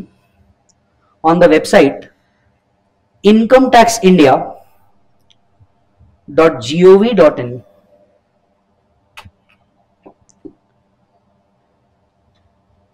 income tax India dot G O V dot in सभी लोगों ने बेटा लिखा हमें चार वर्ड पढ़ने थे इनकम टैक्स एक्ट 1961 अभी हमसे पहले वर्ड पे चल रहा है एक्ट एक्ट क्या होता है रूल्स क्या होते हैं नोटिफिकेशन भी पढ़ना होता है क्या सर्कुलर भी पढ़ना होता है क्या देख भाई मेरा फंडा सिंपल है पढ़ो तो हद कर दो वरना प्रोग्राम रद्द कर दो क्या बोला बेटा पढ़ो तो हद कर दो वरना प्रोग्राम रद्द कर दो बहुत सिंपल है पढ़ो तो किसी भी चीज को डीप में पढ़ो क्योंकि I understand as an average person पहली बार जिंदगी में टैक्स पढ़ रहे हैं हर एक वर्ड का मीनिंग पता होना चाहिए जीरो से जाएंगे हर एक वर्ड का मीनिंग पता होना चाहिए एक लेक्चर एक्स्ट्रा लग जाए कोई प्रॉब्लम है पर पढ़ो तो मजे से पढ़ो मजा आना चाहिए एक एक वर्ड का मीनिंग समझना चाहिए राइट सो so, पहला वर्ड पढ़ा सेक्शन एक्ट नोटिफिकेशन सर्कुलर अब वो समय आ गया जब मैं आपको बताऊं what is the difference between act and rules anybody act and rules के बीच में फर्क क्या है यस रूल्स जब पास हो जाता है तब वो एक्ट हो जाता है जी हाँ मेरे भाई ध्यान से बात सुनिए ध्यान से सुनिएगा सब लोग रूल्स जब पास हो जाए तब वो एक्ट हो जाता है बिल्स जब पास हो जाए तब एक्ट सुना था अरे याद है ना कुछ बिल जब एक्ट पास हो जाए तो पर ये भाई ने कहा रूल्स जब पास हो जाए तो वो एक्ट हो जाता है यस इधर कोई था बहुत सही जवाब एकदम करेक्ट जवाब आप मेरे से चॉकलेट लेना कल एक्ट बताता है क्या करना है रूल्स बताता है कैसे करना है बिल्कुल सही बात act contain provision of law whereas rule contain implementation of law I repeat act contain provision of law rules contain implementation of law just give an example act कहता है इनकम टैक्स रिटर्न भरना है क्या कहता है बेटा act income tax return भरना है रूल्स बताता है कब भरना है कहां भरना है कैसे भरना है कौन से फॉर्म में भरना है किस डेट तक भरना है कौन सा एसएससी किधर जाकर के भरेगा ये सारी चीज कहां से आएगी कहां को जाएगी सारे पॉइंट कौन क्लियर करता है रूल्स सो क्या एक्ट और रूल्स दोनों अलग अलग पढ़े जा सकते हैं या साथ में पढ़ने होंगे लॉजिकल है act contain provision of law rules contain implementation hence हमें एक्ट और रूल्स साथ में पढ़ने पड़ते हैं पर अब भी हमारा एक सवाल बरकरार है कि अगर दोनों साथ में पढ़ने पड़ते हैं तो एक्ट 1961 में आया और रूल्स 1961 ऐसा क्यों जब पढ़ना साथ में था तो अलग अलग लाने की क्या जरूरत थी मन में सवाल उठना चाहिए कि अगर आज आप भी कह रहे हैं कि एक्ट और रूल्स दोनों साथ में पढ़ना पड़ेगा तो दोनों का ईयर अलग अलग क्यों मन में आ रहा है ये सवाल नहीं सर आपने ला लिया पर ये सवाल तो सही है कि नहीं है आज आप कह रहे हैं act contain provision of law rules contain implementation of law एकदम बराबर बात है लेकिन ये सवाल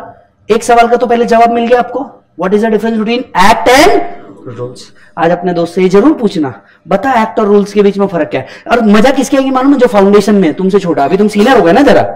उसे लॉ पढ़ रहा ना तो एक्ट और रूल्स में फर्क क्या है वो बता नहीं पाएगा आपने उसको बताना और वो मन के मन में हाँ तभी ये साला इंटर में पहुंचा अंदर की सच्चाई अपने को मालूम है रे उसको तो लगना चाहिए ना अपन अकबर क्यों है ना हो एक्ट और रूल्स ये क्लियर है पहले व्हाट इज एक्ट एक्ट और रूल्स में फर्क क्या है act contain whereas rule contain पर एक सवाल अभी भी बरकरार है what why act in 1961 and rule 1960 ये एक सवाल जारी रखिए please write down difference between act and rules act contain provision of law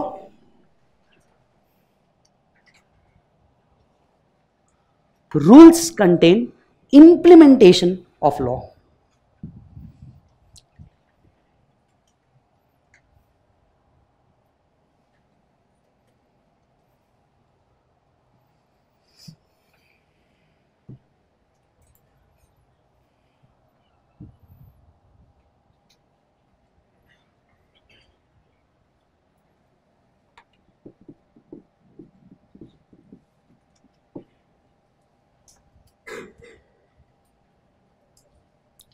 done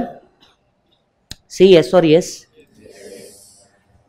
यहां तक के ये पॉइंट क्लियर हो गया दो सवाल बरकरार सीबीडीटी मतलब क्या होता है और एक्ट 1961 और रूल्स 1962 क्यों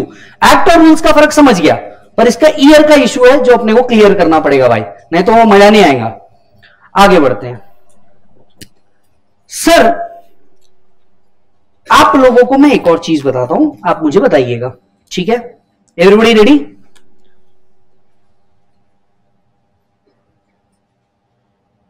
oops chinnaya aha versus Ramaiah ये एक फेमस केस था जो फाउंडेशन में पढ़ाया जाता है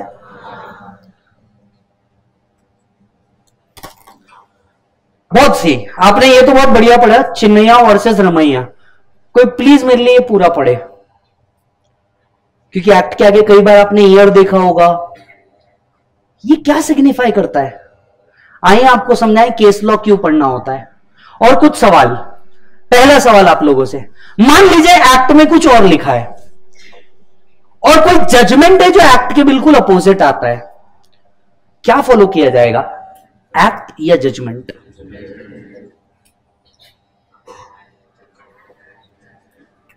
हाउ मेनी पीपल से एक्ट एक दो तीन चार पांच छ एक्ट फॉलो किया जाएगा हाउ मेनी पीपल से जजमेंट फॉलो किया जाएगा ठीक है और जिनने हाथ नहीं उठाया उनकी काम बिजी है मतलब हो सकता है ना कुछ लिख रहे हो बेटा बोलना है यहां पे आप हमको अब तक समझ नहीं मैं बहुत अलग किस्म का टीचर हूं ना द पॉइंट इज जल्दी बताओ अच्छा जो एक्ट कह रहे थे आइए जरूर लड़ाई कौन कह रहा था एक्ट जी बेटा एक्ट क्यों केस लॉ क्यों नहीं yes point to be noted my lord इनके बिहाफ पे point to be noted my lord act government ने डिसाइड किया तो एक्ट फॉलो होगा केस लॉ वाला कौन था केस लॉ वाला केस लॉ वाला अरे कोई तो होगा हाथ उठा दो तो। जी बेटा हाँ एक्ट में कोई तकलीफ थी मेरे भाई के भी पे एक्ट में कोई तकलीफ थी तभी तो केस हुआ ना नहीं तो केस ही क्यों होता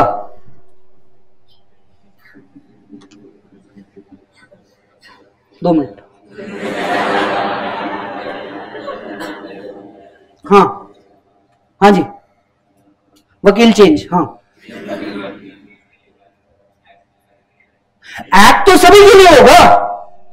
केस कोई पर्टिकुलर चीज के लिए हुआ है पर एक्ट प्रिवेल करेगा ना केस थोड़ी प्रिवेल करेगा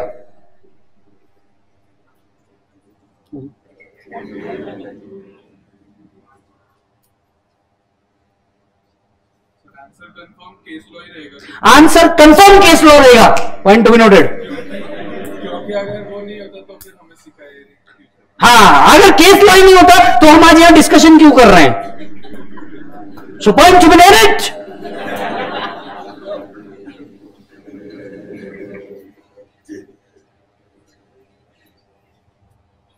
सो जजमेंट दे दें केस लॉ जीतेगा अग्रीड एवरीबडी केस लॉ जीतेगा अभी भी किसी को ऑब्जेक्ट है पक्का नहीं है सो क्लास के डिस्कशन में ये फाइनल हुआ है कि केस लॉ जीतेगा एक्ट नहीं जीतेगा करेक्ट हा या हा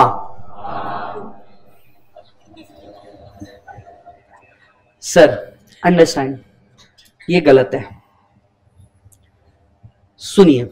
आपको लॉ कैसे पढ़ना है ये समझना होगा अब इस लेवल से बहुत जरूरी है पहले ये कैसे पढ़ते हैं पहले मुझे ये समझाइए किसने किस पे केस किया रमैया ने चिनया पे या चिनया ने रमैया पे सेंसिबली चिन्हैया ने रमैया पे केस किया इसके आगे ये क्या लिखा है यहां से आपको ये सब पढ़ना बहुत जरूरी है क्योंकि आपको सिर्फ एक्ट नहीं आता सिर्फ रूल्स नहीं आते सिर्फ नोटिफिकेशन नहीं आता सिर्फ सर्कुलर नहीं आता केस लॉ भी पढ़ना होता है समझ में आया कैसे पढ़ते हैं ये समझो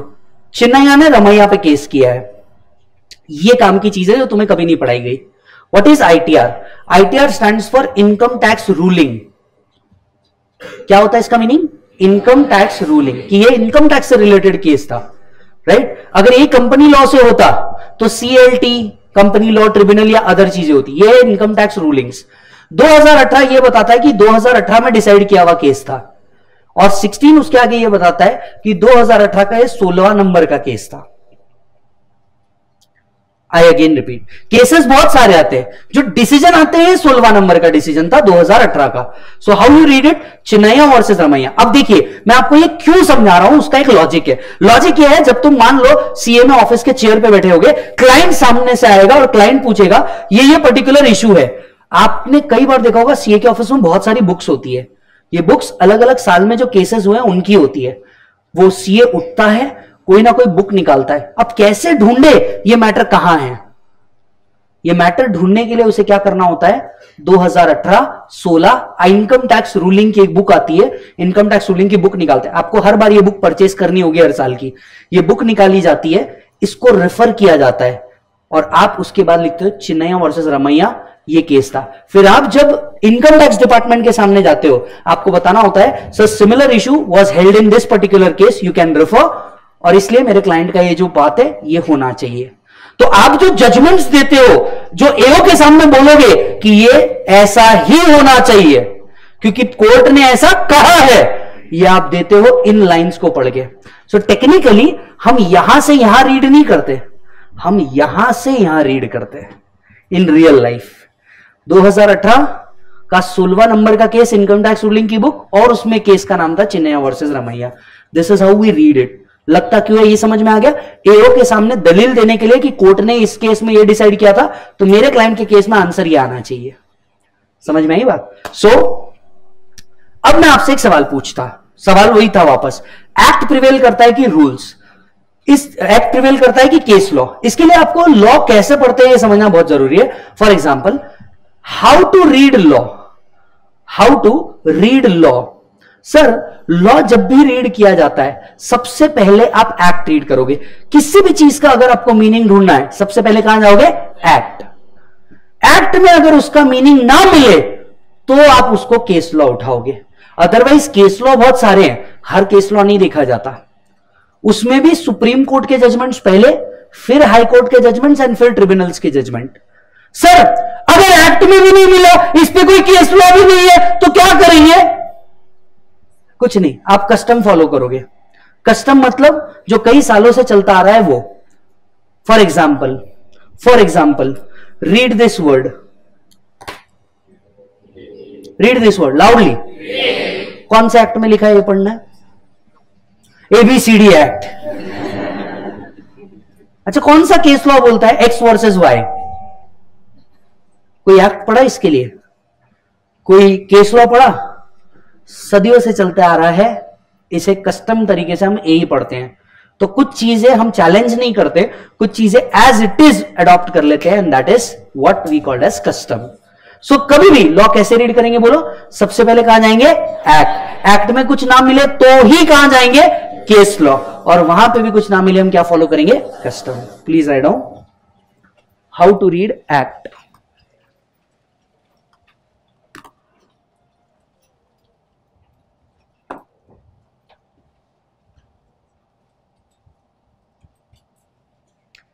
Find in the act, then judicial pronouncement, then custom.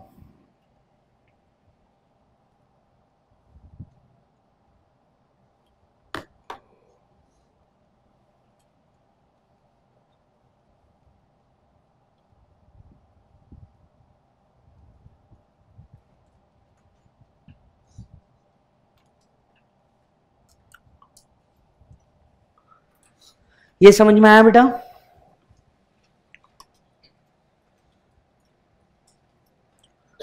तो अब मैं मेरे बच्चे से फिर से पूछता हूं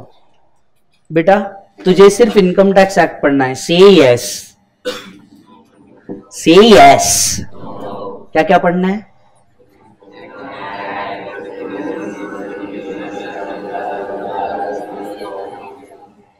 सर क्या आप हमें डरा रहे हैं नहीं जो है वो बता रहा हूं इंस्टीट्यूट आपको सिर्फ ये बताता है लेकिन इंस्टीट्यूट के मॉड्यूल के दूसरे ही पेज पे ये बात लिखी है सारी समझ में ही बात तो आपको ये सारी चीजें पढ़नी पड़ेगी और अब से बिल्कुल और ये सिर्फ टैक्स का बात है डीटी का जीएसटी का अलग विषय ठीक है नाउ सर एक्ट में क्या सिर्फ एक्ट होता है आंसर इज नो एक्ट में सिर्फ एक्ट नहीं होता है एक्ट में सबसे पहले होता है एक्ट सारे सेक्शन एक्ट कैसे डिवाइड होता है सारे सेक्शन ये मैं आज आपको क्यों बता रहा हूं उसके पीछे का एक और लॉजिक है आपको याद है मैंने आपको थोड़ी देर पहले बताया मैं इंटरव्यू पे गया था अपन बिल्कुल ट्वेंटी वन सी एस दो मिनट में मेरा बुखार उतर गया कि भाई उसने मेरे को सेक्शन ढूंढने बोला सेक्शन नहीं मिला ही आज में डिफ सेकेंड क्वेश्चन चलो कोई बात नहीं शेड्यूल थ्री निकालो आई वॉज लाइक क्या हाँ एक्ट नहीं समझ रहा शेड्यूल कहा से निकालो बोले ये पूरा बुक ये पूरा केबिन ओपन है आपको जहां से निकालना है निकाल लो मैं उठा ढूंढने लगा बुक का किसी का नाम है क्या शेड्यूल नहीं पता था यार नहीं अवेयरनेस था पहले समझे तो सर ही शेड्यूल होता क्या है तब तो आगे बढ़े कि शेड्यूल क्या रहता बड़ी शेड्यूल शेड्यूल क्या होता है अंडरस्टैंड सर शेड्यूल क्या होता है जनरली हर फॉर्मेट शेड्यूल में दिए जाते हैं सर शेड्यूल कहां होता है एक्ट के बिल्कुल पीछे ये बाद में मुझे समझा कि जहां एक्ट खत्म होता है फॉर एग्जाम्पल जैसी 298 सेक्शन खत्म होंगे वैसे चालू होगा शेड्यूल याद होगा तो आप अपना PNL and balance sheet schedule three के हिसाब से बनाते हैं ओ याद आया जो आप अपना कंपनीज एक्ट के हिसाब से कंपनी अकाउंट बनाते हैं ये शेड्यूल थ्री के हिसाब से पीएनएल अडॉप्ट करते हैं शेड्यूल क्या करता है फॉर्मेट्स रखता है कई डिटेल्स देने के तो एक्ट के बिल्कुल पीछे क्या होता है शेड्यूल और शेड्यूल के पीछे होता है अनेक्स्चर मतलब जब आप कोई एक्ट उठाएंगे सपोज ये एक्ट है एक्ट उठाएंगे सबसे पहले पूरे सेक्शन होंगे सेक्शन के बाद शेड्यूल दिया होगा और शेड्यूल के पीछे क्या होगा अनेक्स्चर तब जाके एक बुक बनती है एक्ट सर ये अनेक्चर क्या होता है मुझे भी जानना है अनेक्चर क्या होता है कई बार एक्ट में शॉर्टकट यूज किए होते हैं for example S B I but इसका कुछ और मीनिंग भी हो सकता है उसको अनेक्स्चर में क्लियर कट लिखा होता है कि इसका फुल फॉर्म क्या रहेगा तो अनेक्स्चर आपको डिटेल देता है अनेक्स्चर अच्छा दूसरा अनेक्स्चर में एक और चीज होती है फीस ये बड़े काम की चीज है हाउ सीए डिसाइड किस काम के लिए कितना फीस लेना है आपको समझना जरूरी है ये कैसे डिसाइड होता है किस काम के लिए कितना फीस लेना है सर मैं आपको बताऊं कैसे डिसाइड होता है सबसे पहले जब भी कोई क्लाइंट आता है ना हमारे पास तो बताता है काम क्या है हर सीए बुक ओपन करता बताओ एक्ट में जाए शेड्यूल में जाए अनेक्चर में जाए अनेक्चर अनेक्चर में जाके वो एक चीज ओपन करता table of fees table of fees में लिखा होता है किस चीज के लिए सरकार को कितना पेमेंट देना है वो डिसाइड करता प्लस ऊपर जो उसको मार्जिन लगाना है शक्ल देख के चंदन लगाना है उत्तर अमाउंट को कोट कर देता that's how a CA decide the fees उसके लिए आपको अनेक्चर जानना जरूरी था और उसके लिए ये लेक्चर में आना जरूरी था वापस से एक बार क्या एक्ट में सिर्फ एक्ट होता है सबसे पहले क्या होंगे इसके पीछे क्या लगे होंगे उसके पीछे क्या होंगे तब जाके एक पूरा हैक्ट बनेगा समझ में आई बात तो बेटा एक्ट जब पढ़ते रहोगे शेड्यूल और अनेक्चर भी ध्यान रखना रूल्स भी ध्यान रखना नोटिफिकेशन भी ध्यान रखना सर्कुलर भी ध्यान रखना केस लॉ भी ध्यान रखना समझ में आया तुम क्या है सो so, सबसे पहले सेक्शंस सेक्शंस के पीछे क्या होता है बेटा शेड्यूल और शेड्यूल के पीछे क्या होता है बेटा अनेक्स्चर क्लियर है मालिक लिख दो so content of act first it is divided in various sections. Then schedule, then annexure.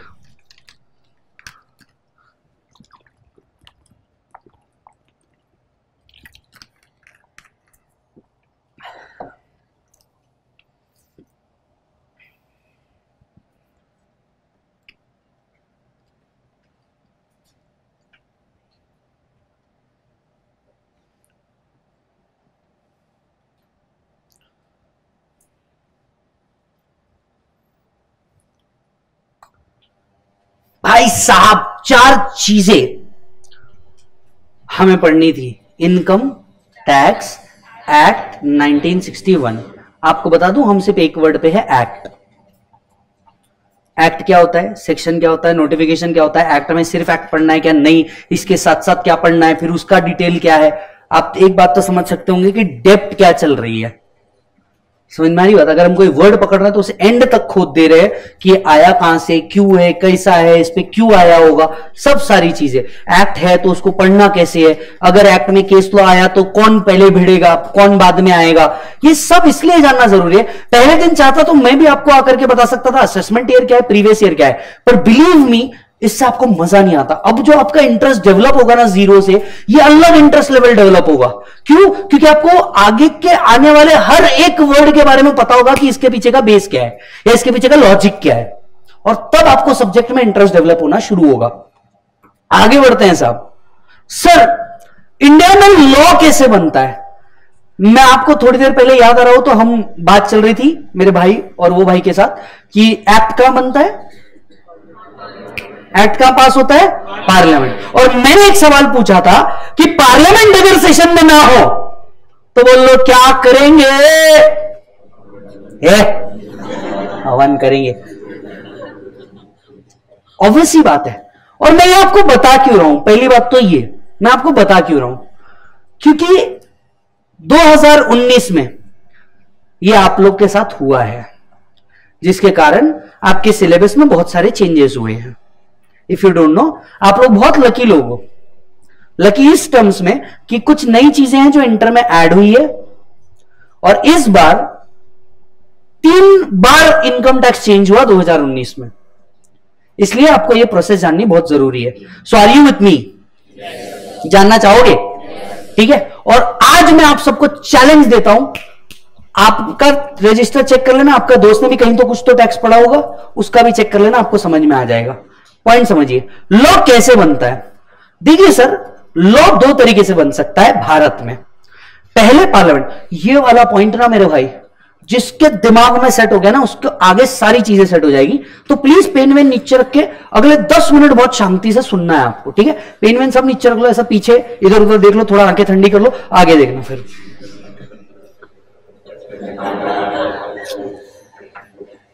Now act दो तरीके से इंडिया में बन सकता है बोले कितने तरीके से दो पहला पार्लियामेंट के थ्रू लॉ बन सकता है लेकिन एक पावर यहां पे एडिशनल दिया गया है प्रेसिडेंट को सो so, पार्लियामेंट के हिसाब से तो लॉ बन ही सकता है एक और तरीके से लॉ बन सकता है और वो है प्रेसिडेंट के थ्रू इसीलिए प्रेसिडेंट को बहुत ज्यादा पावर है इंडिया में right now the point is वापस एक बार लॉ दो तरीके से बन सकता है पार्लियामेंट के थ्रू और दूसरा प्रेसिडेंट के थ्रू जरा समझिएगा पहला पार्लियामेंट किसी भी लॉ को पास कर सकता है अब आप ये पूछेंगे पार्लियामेंट को ये पावर आया कहां से पूछो ना कहां से आया देखिए ये सारे पावर या किसी भी तरीके का लॉ ये आया है कॉन्स्टिट्यूशन कोई भी चीज के पीछे का बेस होगा कॉन्स्टिट्यूशन कॉन्स्टिट्यूशन एक ऐसी चीज है जो हमें हर तरीके का पावर देती है और आप रिसेंटली देख सकते हैं सी एनआरसी इसमें सबसे ज्यादा बात कॉन्स्टिट्यूशन की चल रही है सो so, हमें भी as a law student as a tax student समझना होगा कि कॉन्स्टिट्यूशन ने ये पावर लाया कहां से आर्टिकल 265 ऑफ इंडियन कॉन्स्टिट्यूशन कौन सा article 265 article 265 of Indian constitution power देता है पार्लियामेंट को कि वो इंडिया का लॉ बना सकता है let me explain you this in very brief law बनाने का पावर दिया गया है जिसका मतलब लॉ पास करने का पावर है they do not draft it draft कौन करता है ministry of law and justice draft कौन करता है ministry of law and justice draft वो करती है पास पार्लियामेंट करता है बाय टू थर्ड मेजोरिटी बराबर अच्छा जी पार्लियामेंट लॉ तब पास करता है जब इसके ऊपर डिस्कशन हो जाए सेंट्रल और अदर पार्टी का और इसी के ऊपर आप देखेंगे कई बार राज्यसभा के आपको फुटेज दिखाई जाती है कि यहां पे ये डिबेट चल रहा है राइट लेकिन ये तब हो सकता है जब पार्लियामेंट सेशंस में हो पार्लियामेंट सेशंस में साल में दो बार आता है एक होता है विंटर सेशन और एक होता है जनरल सेशन ये दो बार आता है पार्लियामेंट साल भर सेशंस में नहीं होता तो जब पार्लियामेंट सेशंस में हो तब आपका आर्टिकल 265 के तहत आप कोई भी लॉ बना सकते हो बट व्हाट अबाउट जब पार्लियामेंट सेशन में ना हो पार्लियामेंट सेशन में ना हो और देश में अगर कोई अर्जेंट कानून की जरूरत पड़े तो क्या यह कानून बन सकता है answer is again yes sir कैसे article 123 two Indian constitution article article 123 two Indian constitution president को पावर देता है कोई भी ऑर्डिनेंस प्रोमोलगेट करने का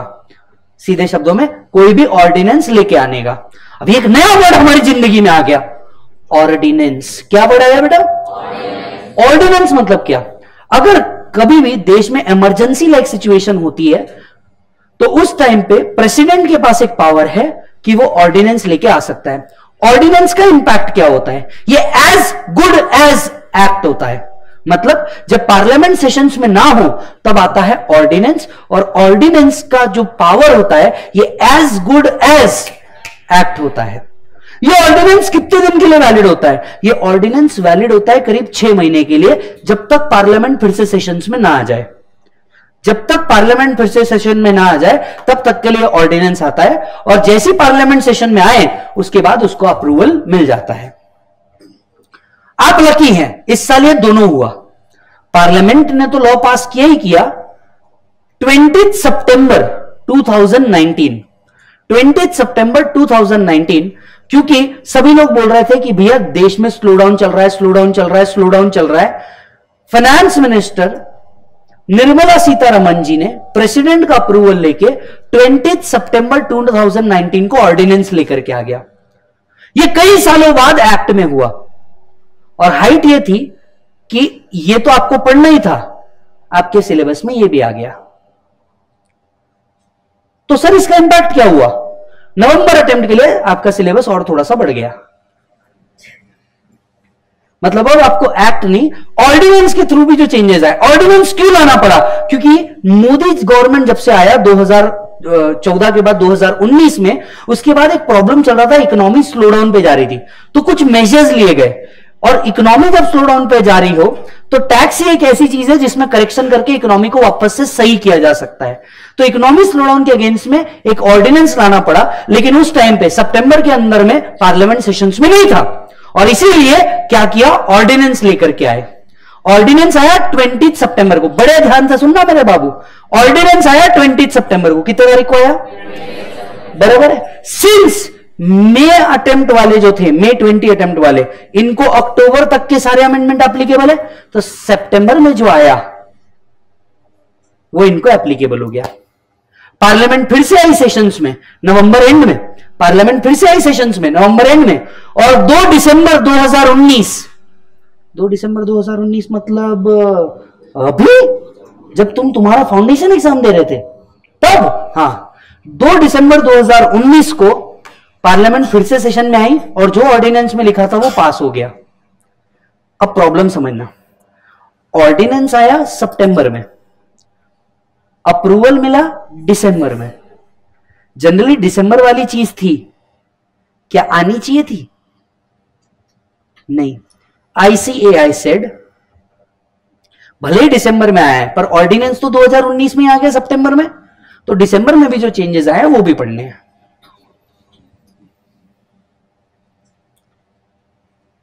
जो दिसंबर में चेंजेस आए हैं वो भी आपको पढ़ने हैं और इसलिए बहुत ध्यान से सुनना इस लाइन को खुद इस बार के RTP are you aware what is RTP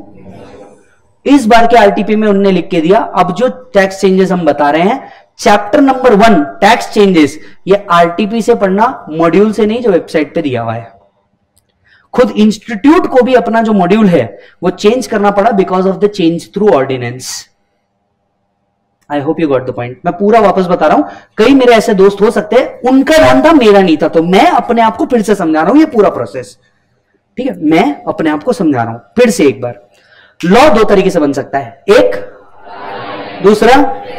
clear है मालिक पार्लियामेंट को पावर मिला है आर्टिकल 265 कौन सा आर्टिकल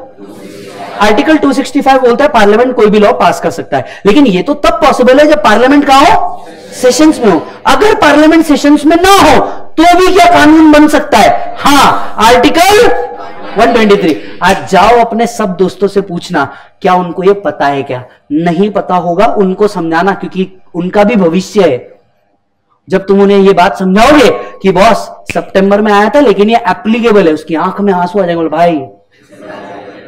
जब पार्लियामेंट सेशन में ना हो article 123 two the Indian constitution आता है ये कितने महीनों के लिए वैलिड होता है सिक्स मंथ्स वापस जैसे ही पार्लियामेंट सेशन में आया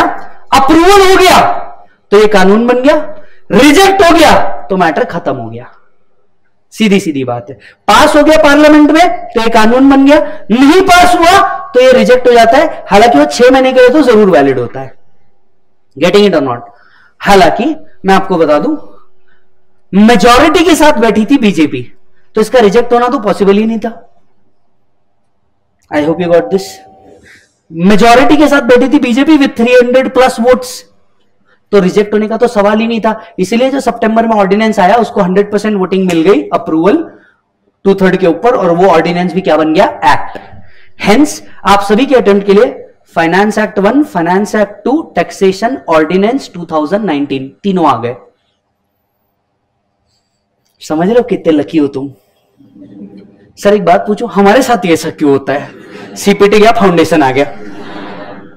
टैक्स में आया पहले ही दिन आपने बम फोड़ दिया कि फाइनेंस एक्ट में ऑर्डिनेंस भी पढ़ना है टेंशन मतलब बहुत ईजी है बहुत ईजी है बस मुझे आपको पहले ये समझाना तो पड़ेगा कि आज हम अगर ऐसा कर रहे हैं तो कर क्यों रहे हैं so everybody you got my point or not law कहां से बनता है दो जगह से पार्लियामेंट प्रेसिडेंट पार्लियामेंट को पावर कहां से मिला है आर्टिकल 265 प्रेसिडेंट को कहां से मिला है आर्टिकल 123 कितने महीनों के लिए वैलिड सिक्स मंथ्स के लिए वैलिड पास हो गया तो एक्ट नहीं पास हुआ तो कैंसर पर छह महीने के लिए तो वैलिड रहेगा ही रहेगा गेटिंग इट और नॉट इसीलिए कानून के पीछे का बेस ये है गेटिंग मेरे भाई ये दो लिख दो हमने 123 तो डिस्कस कर दिया 265 डिटेल में डिस्कस करना है आ जा मेरे भाई please write down law making process in India act कानून है लॉ है इनकम टैक्स भी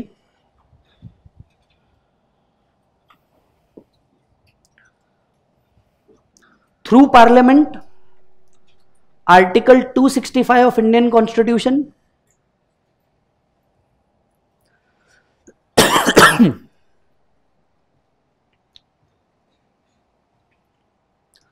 when parliament is in session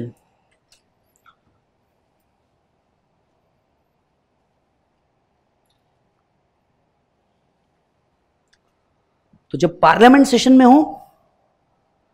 parliament उस कानून को पास करता है आपने देखो बचपन में पढ़ा होगा आपने बचपन में पढ़ा होगा कैसे बनता है कानून सबसे पहले बिल होता है bill both houses of parliament में जाता है याद आ रहा क्या राज्यसभा लोकसभा और फिर प्रेसिडेंट असेंट मिलता है तो कानून बनता है यह बात आपने फाउंडेशन में पढ़ ली होगी पर I am damn sure ordinance वाला पार्ट तुम पहली बार पढ़ रहे हो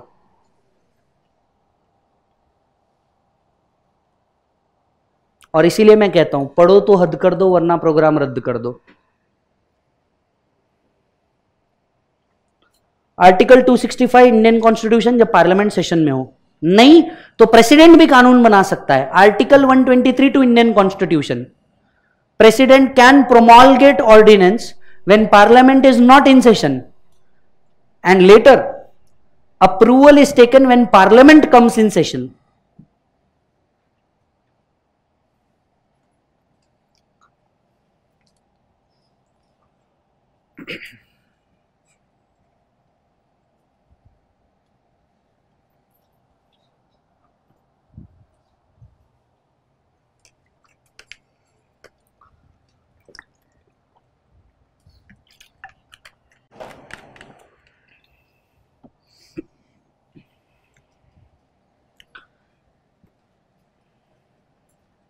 It is max valid for 6 months.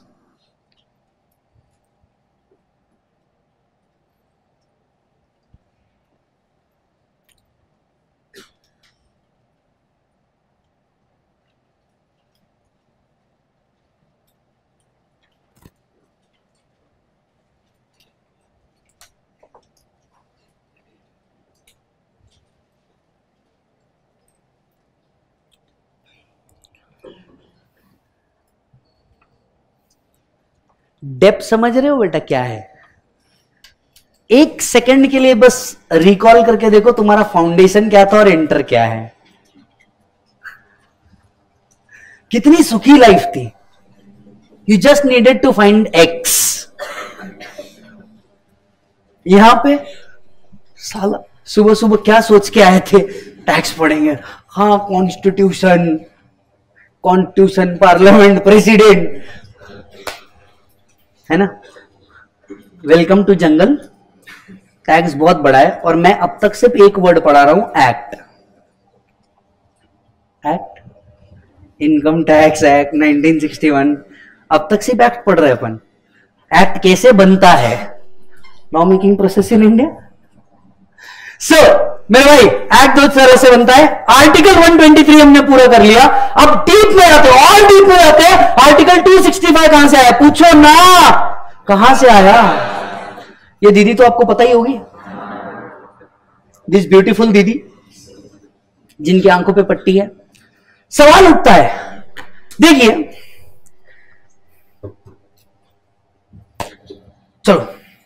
छोड़ा यार पढ़ाई वढ़ाई कुछ अच्छा बताता हूं तो बात उन दिनों की है बात किन दिनों की है उन दिनों की जब यह मेरा भाई भाई तेरा नाम क्या है राघव हाँ तो राघव घर में सो रहा था सभी लोग बहुत फोकस करना रही हो इतनी ये कितने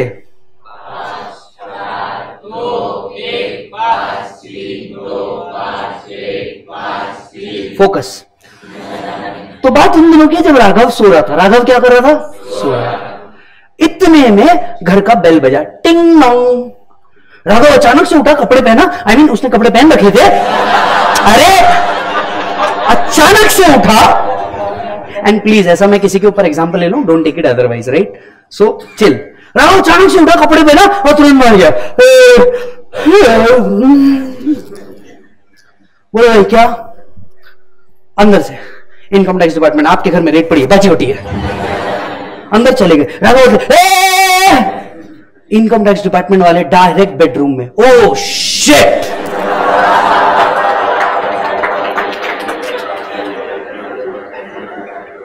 पूरी चद्दर बिखरी पड़ी है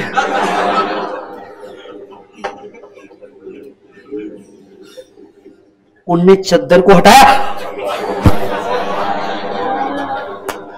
वहां पे दो हजार की दो गड्डियां मिली उनने उठाया बाजू रखा अचानक उनकी नजर पर्दे की ओर गई पर्दे के नीचे जूते दिख रहे थे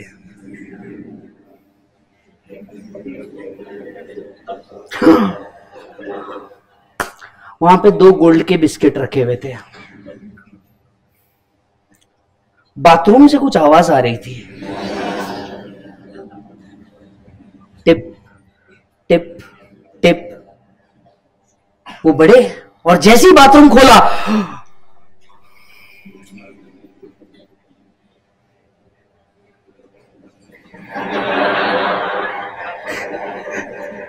ये जो तुम्हारे अंदर से आवाज आ रही है ना इसके भी रोक दो वो होने नहीं वाला जो तुम चाह रहे हो ठीक है तू आने नहीं वाला है तो ध्यान में सुनना जैसे ही बाथरूम खोला माय गॉड वहां पे बहुत सारी गोल्ड ज्वेलरी पड़ी हुई है लेकिन वहां शावर के नीचे कुछ तो था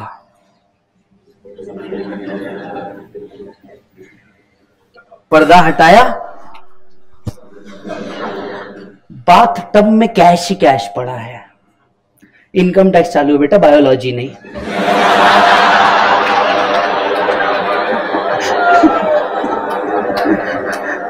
तो मैं बता रहा हूं तुम ऐसे नजर से मत देखो कि अब वो मिला अब वो ऐसा कुछ नहीं हो रे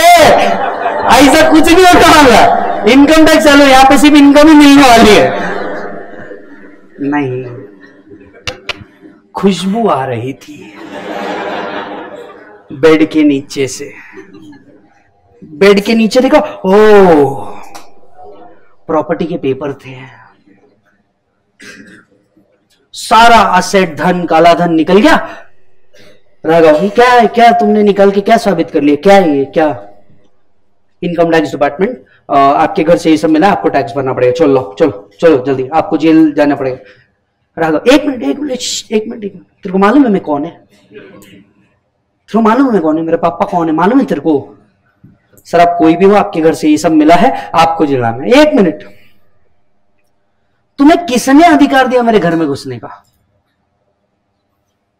किसने बोला ये काला धन है किसने अधिकार दिया क्या पावर है तुम्हें मेरे घर में घुस जाओ मेरे बेडरूम में घुस जाओ मेरे बाथरूम में घुस जाओ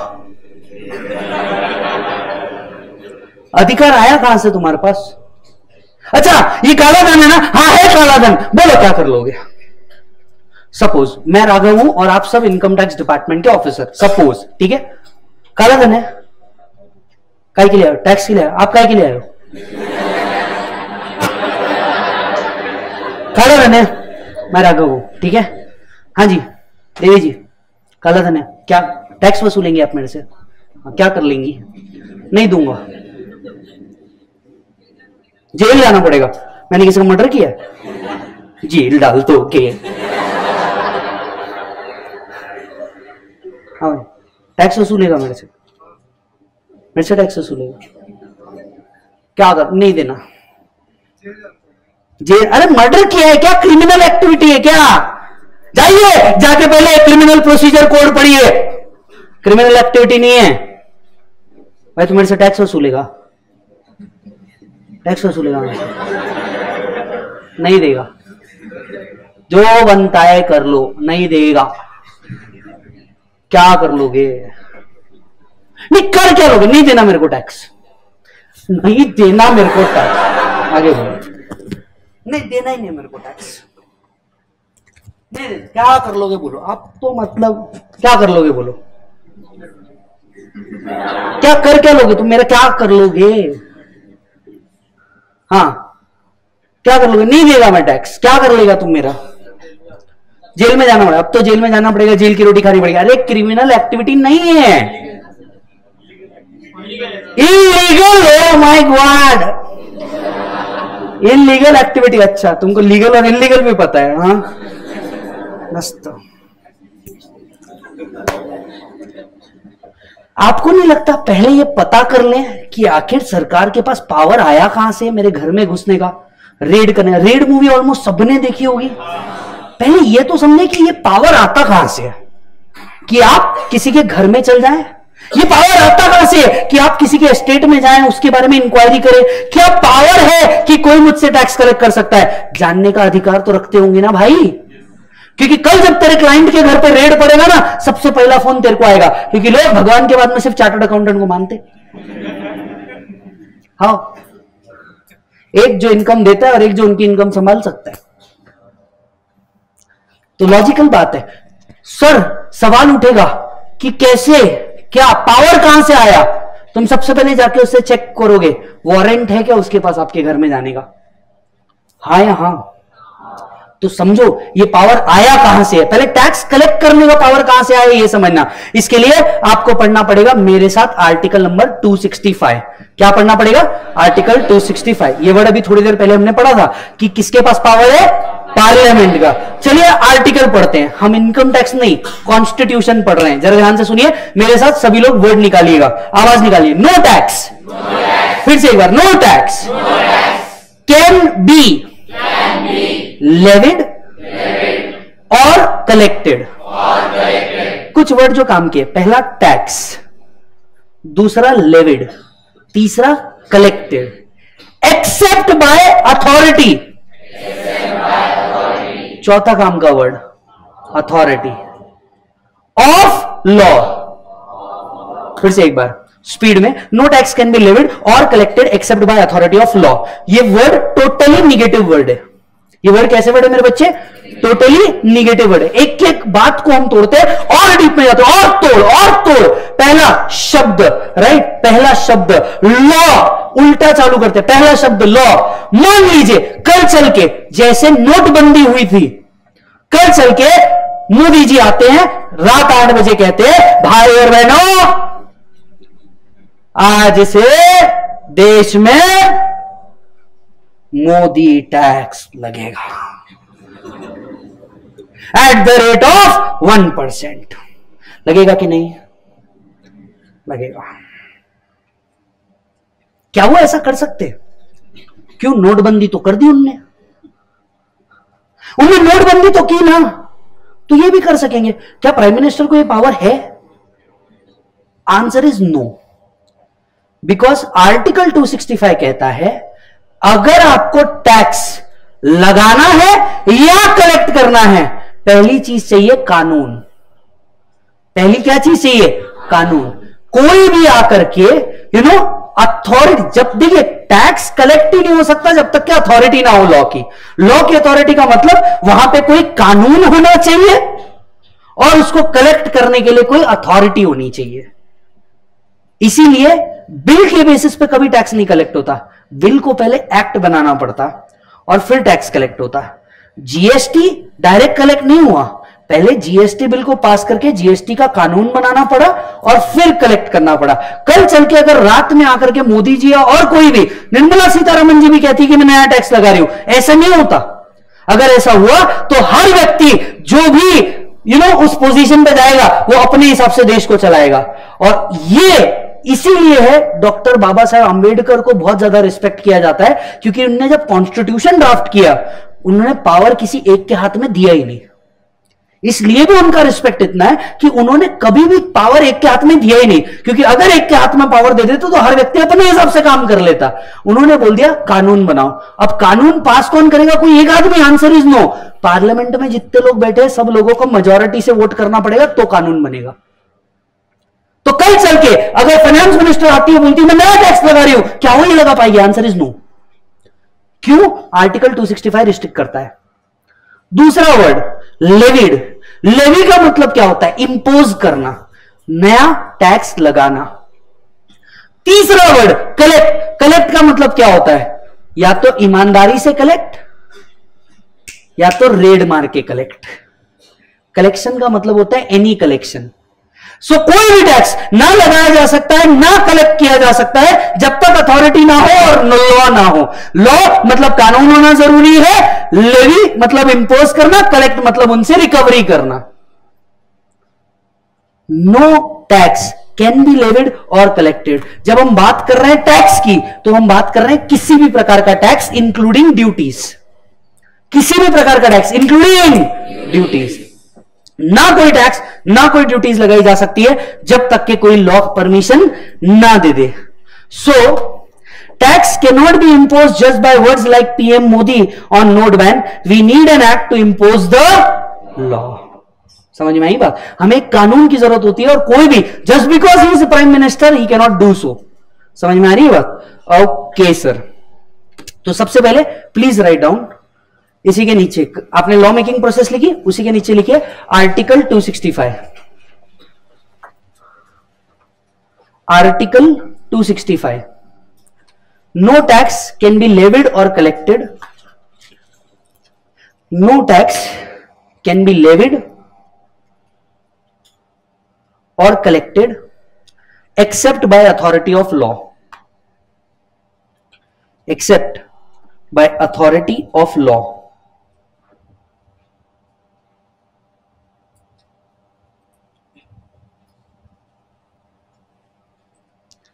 बराबर कुछ वर्ड्स के नीचे आपको अंडरलाइन करनी है tax levy collection tax levy collection authority और लॉ लॉ के नीचे एरो करके लिखे there should be an act there should be an act मतलब टैक्स लगाने के लिए कानून की जरूरत होती है अथॉरिटी की नहीं भले ही खुद निर्मला सीतारमन जी भी आ जाए उनको अप्रूवल तो लेना ही पड़ेगा पार्लियामेंट का लेवी के ऊपर एरो करें लिखें इंपोज लगाना इंपोज करना कलेक्शन के ऊपर एरो करें लिखें कलेक्शन और रिकवरी कलेक्शन और recovery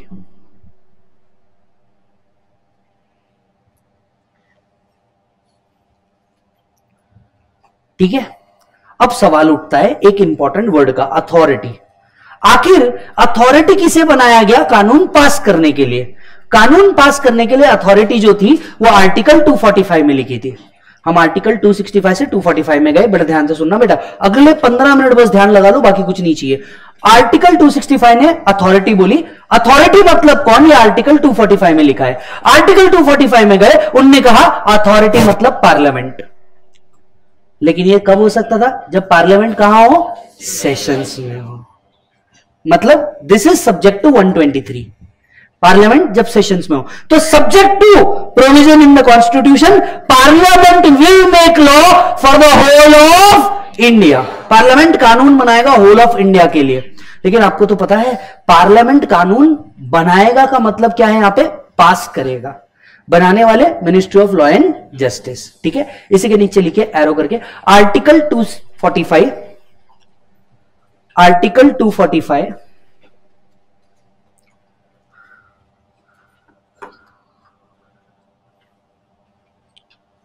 parliament may make law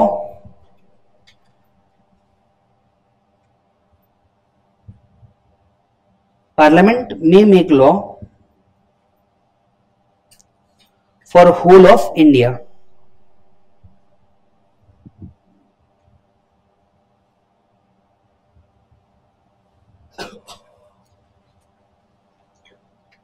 Is that done? So, opposite. 265 ने बोला कोई अथॉरिटी चाहिए अथॉरिटी किसे सिलेक्ट किया गया पार्लियामेंट पार्लियामेंट सेशंस में है गुड नहीं है 123 प्रेसिडेंट भी ला सकता है किसी भी कानून को लेकिन पार्लियामेंट ने बोला क्या वो सब काम कर सकता है नहीं पार्लियामेंट ने भी यहां पे भी डॉक्टर बाबा साहेब अंबेडकर की रिस्पेक्ट और बढ़ जाती है क्यों क्योंकि उनने पार्लियामेंट का भी एक और पॉइंट निकाला कि हर चीज सेंटर के हाथ में नहीं रहनी चाहिए अगर हर चीज सेंटर के हाथ में रह गई तो सेंटर उस तरीके से वर्क करेगा जिस तरीके से वो चाहता है जबकि India is a division of state यहां स्टेट को भी अधिकार देने जरूरी थे हेंस एक और चीज आई एक और चीज आई आर्टिकल 246 जिसने पावर डिवाइड कर दी है कुछ पावर सिर्फ सेंटर को मिले कुछ पावर स्टेट को मिले और कुछ पावर दोनों मिलकर डिसीजन वाले बने क्या आपको पता है इनकम टैक्स जो आप देते हैं ये पार्ट बनता है सेंट्रल का article 246 read with schedule seven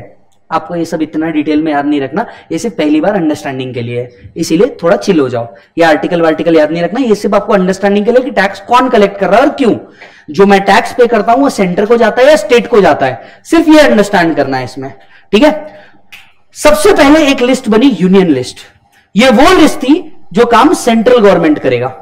I think आपने पढ़ा है कहीं ना कहीं I guess economics if I am not wrong दूसरा बना स्टेट लिस्ट जिसके अंदर वो काम दिए हैं जो स्टेट करेगा और तीसरा बना कॉन्करेंट लिस्ट मतलब सेंटर और स्टेट को मिलकर वर्क करना पड़ेगा यूनियन लिस्ट की एंट्री नंबर 82 में एक काम लिखा गया income tax other than on agriculture तो जो सवाल था कुछ देर पहले राघव का कि आपके पास टैक्स कलेक्ट करने का पावर कहां से आया अब वो ऑफिसर खुल के बोलेगा entry number 82 union list article 265 कृपया हमसे ये ना पूछे ये पावर आया कहां से ये पावर आया entry number 82 union list article number 265 read with 245 and 246 समझ में आई बात तो ये जो सवाल था जो मैंने आपको थोड़ी देर पहले एक ड्रामा करके बताया कि किसी के घर में आ गया ये ऐसा घुसने का पावर है क्या कहीं पे भी हाँ है इन्हें पावर खुद कॉन्स्टिट्यूशन ने दिया है entry number 82 to to the union list चार बार एमसीक्यू में आ चुका है साहब entry number 82 to the union list क्या लिखा है आइए जरा डीप में जाके पढ़ते हैं एंट्री नंबर 82 में क्या लिखा है taxes on income other than on agriculture क्या वर्ड लिखा है मेरे भाई taxes on income other than on agriculture तो एक बात का जवाब मैं आज आपको और दे दू कि आप जो टैक्स पे कर रहे हैं सेंटर को करते हैं स्टेट को नहीं किसको किया जाता है centre collect the income tax तो सर ये किसके जेब में जाता है नरेंद्र मोदी साहब के ना मुन्ना ना इसका जवाब भी दो मिनट में आने वाला है पहले ये पॉइंट समझा आपको एक मिनट यहां पे वर्ड क्या लिखा था taxes on income other than on agriculture taxes on income तो सर क्या एग्रीकल्चर पर टैक्स कलेक्ट नहीं होता गलत सेंटर के पास पावर नहीं है ये पावर किसके पास है state state list entry number 46 taxes on agriculture हालांकि एग्रीकल्चर पे एज ऑफ नाउ टैक्स नहीं है पावर है लगाया नहीं है चाहे तो सेंटर लगा सकता है गुजरात महाराष्ट्र कर्नाटका ये तीन स्टेट ऐसे रहे हैं जिनने एक समय पे एग्रीकल्चर पे भी टैक्स कलेक्ट किया है पर as of now vote bank के चक्कर में किसी के पास कलेक्शन का पावर नहीं है कोई करता ही नहीं I hope you can understand why getting it so please उसी के नीचे एरो की जरूर आपने लिखा वहां लिखिए article 246 article 246 Schedule 7, Article 246, Schedule 7, Roman 7. Union list entry number 82. Union list entry number 82.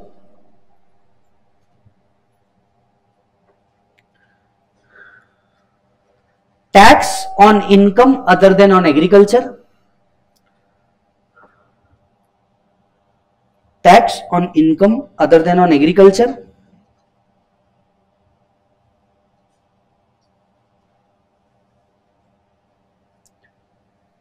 entry number 46 to the state list next point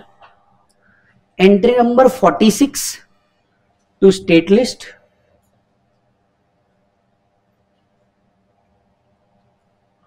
taxes on agriculture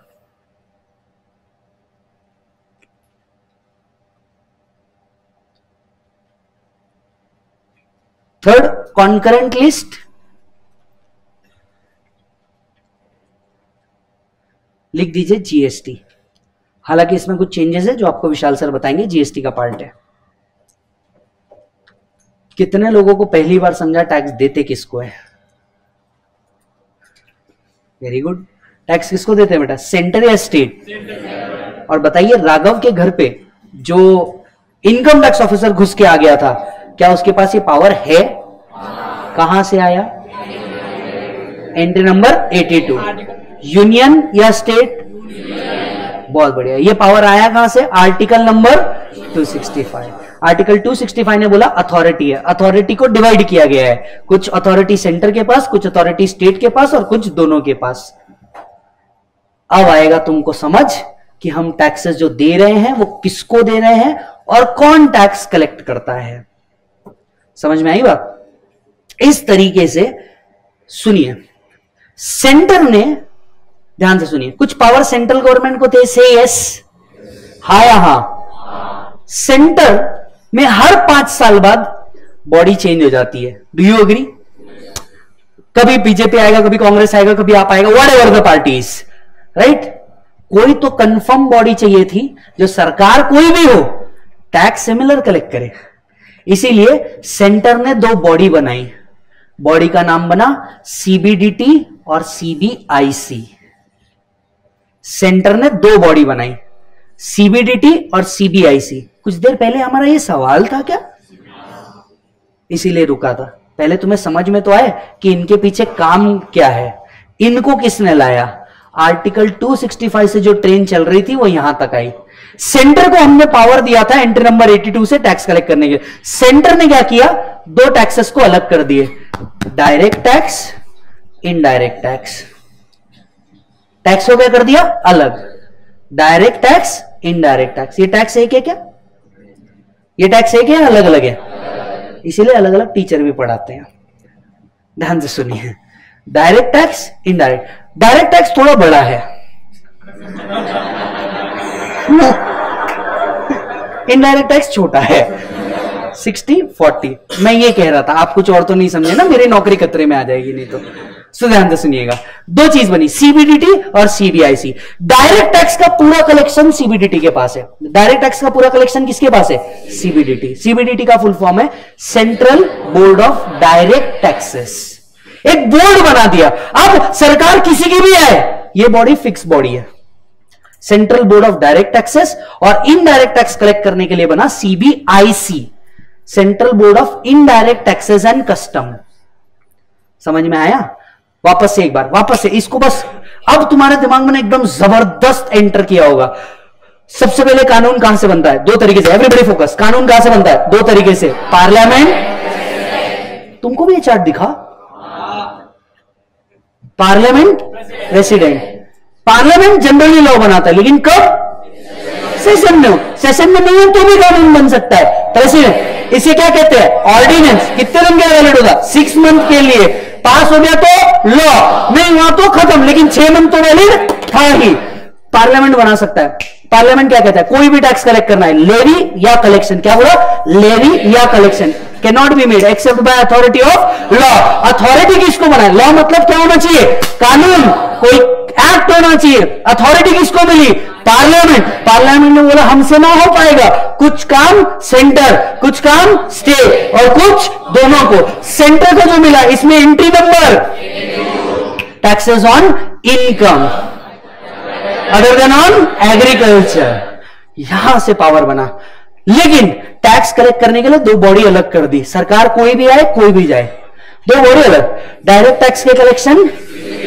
और इनडायरेक्ट टैक्स के कलेक्शन क्लियर हो गया सीबीडीटी का फुल फॉर्म में भूल गया और वो सीबीआईसी का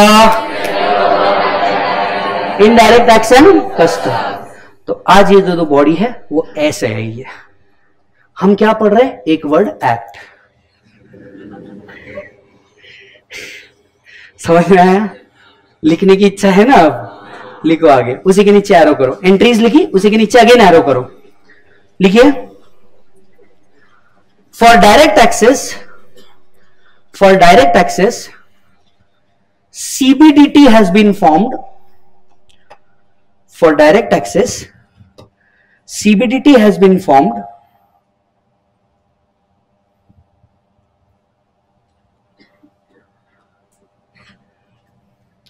for indirect taxes CBIC has been formed for indirect taxes. CBIC has been formed. आप नीचे चाहें तो फुल फॉर्म लिख दें central board of direct taxes central board of indirect taxes and custom central board of direct taxes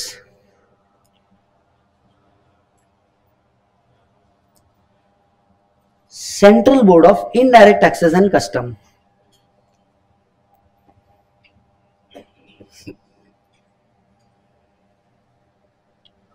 central board of indirect taxes and custom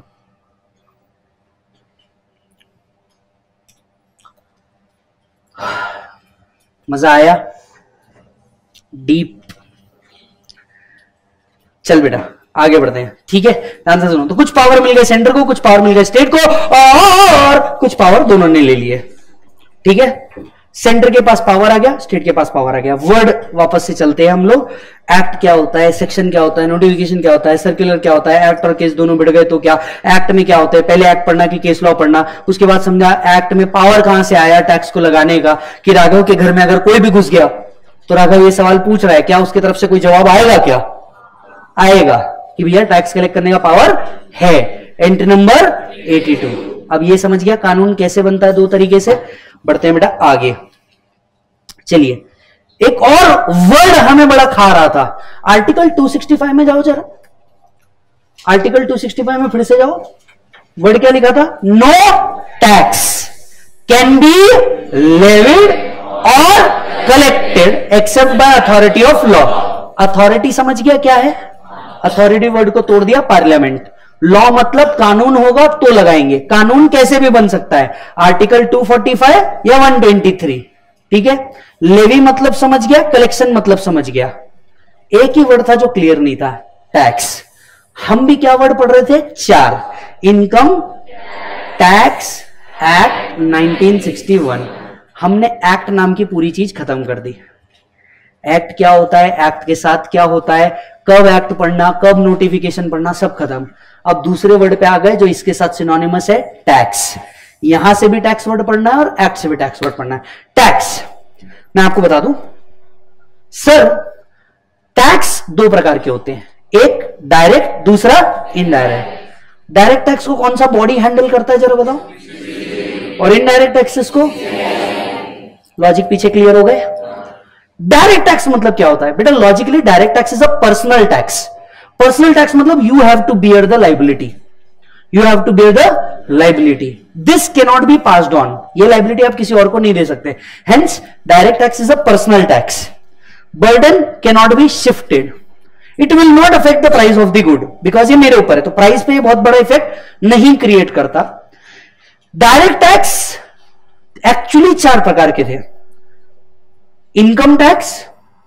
wealth tax gift tax और एक बहुत पहले हुआ करता था एस्टेट ड्यूटी मैं फटाफट बस आपको बता देता हूं गिफ्ट टैक्स एबॉलिश हो चुका है इन द ईयर 1988 ये गिफ्ट टैक्स क्या था इनकम टैक्स तो हम डिस्कस ही कर रहे हैं इनकम टैक्स तो आज है लेकिन गिफ्ट टैक्स पहले हुआ करता था आपको ये जानना जरूरी है गिफ्ट टैक्स हुआ करता था लेकिन 1988 में एबॉलिश हो गया पूछो ना क्यों बेटा इसलिए कि एक ऐसा एक्ट था जो गिफ्ट दे रहा है उस पर टैक्स लगता था मतलब सोच लो आपने अपनी बाबू सोना बच्चा गुड़िया को कोई गिफ्ट दिया नवरात्रि में इसके ऊपर भी टैक्स लग जाता था कत घटिया जहर ये एक्ट हुआ करता था और सारे पॉलिटिशियंस ने मिल करके इस एक्ट को खत्म कर दिया क्योंकि उनको सबसे ज्यादा क्या मिलता था बेटा गिफ्ट और ब्लैक टू व्हाइट करने का सबसे बेहतर तरीका ये एक्ट ही था खुद अपना पैसा अगर ब्लैक में मिला मैं इसके हाथ में देता था बोलता था मुझे गिफ्ट कर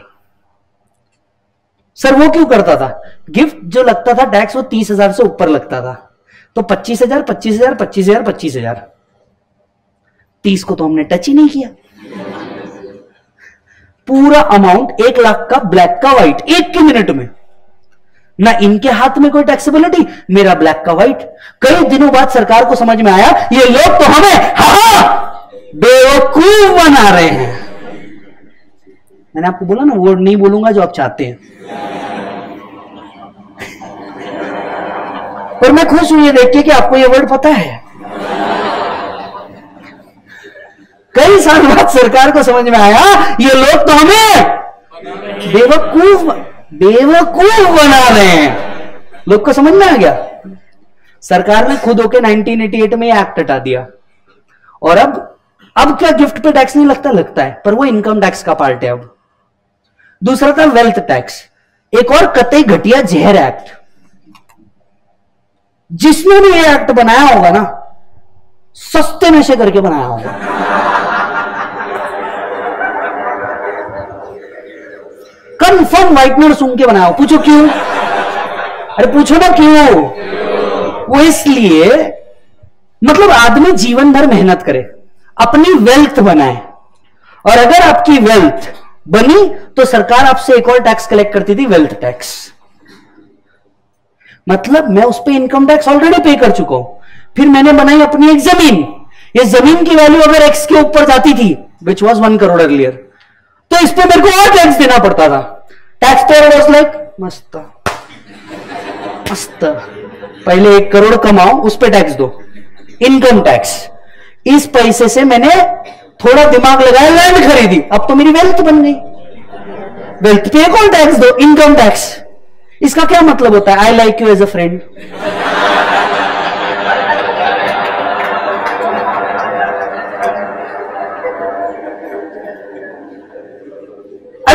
तुम कौन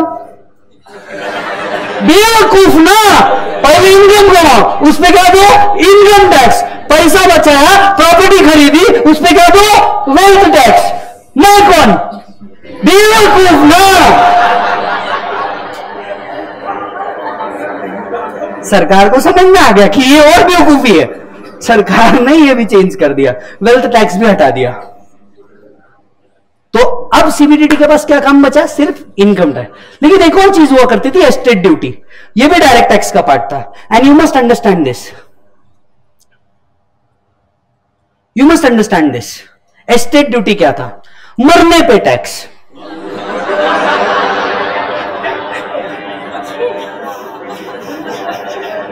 सारा जीते जी तुमने इनकम टैक्स लिया प्रॉपर्टी बनाया उसमें टैक्स लिया मरना भी नसीब नहीं है मिनिमल टैक्स नहीं नहीं सर ऐसा नहीं हो सकता अबे हुआ है we are in India we should be proud पूछो ये कैसा टैक्स था पूछो ना मतलब मान लो मैंने इनकम देखो क्या लॉजिक थे इंडिया के जो समय पे बदले ठीक है over the period of time वो है ना बचपन से अपने को बोलते थे बस टेंथ पास हो जाए फिर तो सब अच्छा ही है फिर हमारा कहा था बस ट्वेल्थ पास हो जाए अच्छा ही है सीए फाउंडेशन क्लियर कर ले फिर तो मजे ही है पहले लेक्चर में आके समझ तमा कसम इतना है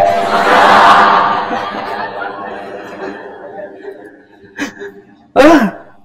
मैंने इनकम कमाई इस पे बनाई वेल्थ ध्यान से सुनना इनकम पे क्या लगा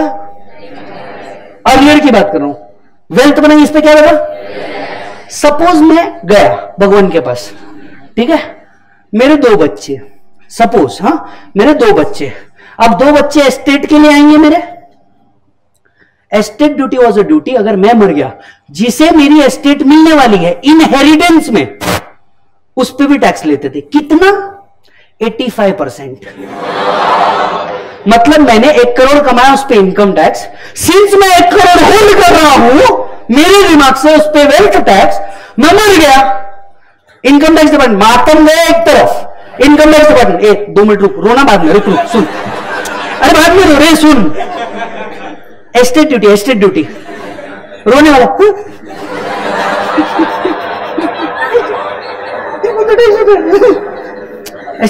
सुनना एक मिनट वो तो गया ना सुन इधर अब दोनों भाई भाई कुछ मैं लूंगा कुछ तू लेगा ऐसा क्यों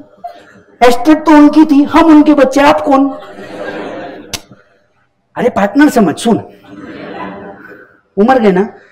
ये कानून है इसको बोलते हैं एस्टेट ड्यूटी ऐसा मुझे कुछ नहीं बोला उन्होंने व्यू में भी नहीं लिखा था ignorance of lawyers no excuse ना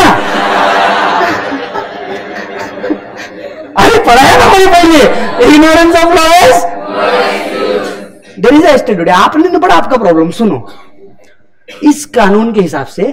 जितनी एस्टेट आपको मिल रही है इसका 85 परसेंट इनकम टैक्स डिपार्टमेंट का 25 आपका फिफ्टीन आपका कितना इलॉजिकल टैक्स सिस्टम था हमारा देखो पहले मैंने इनकम कमाई उस पर इनकम टैक्स इस पैसे से बचा के वेल्थ टैक्स बनाया इस पे वेल्थ टैक्स मरने के बाद इनहेरिटेंस में जो जा रहा था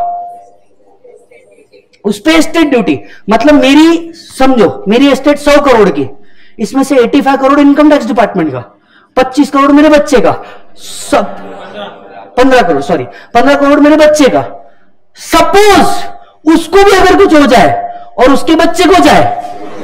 तो पंद्रह का एटी फाइव अगेन गवर्नमेंट का मस्त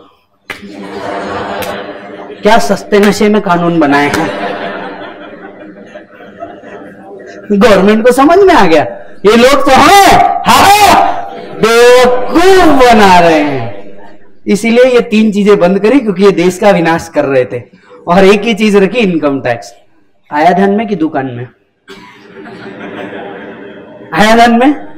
तो डायरेक्ट टैक्स के कितने प्रकार थे चार income tax gift tax wealth tax लेकिन ये तीन क्यों बंद किए इसका लॉजिक समझा क्योंकि ये तीनों हद सस्ते नशे में बनाए गए लॉ थे और अब सीबीडीटी सिर्फ एक एक्ट हैंडल करती है income tax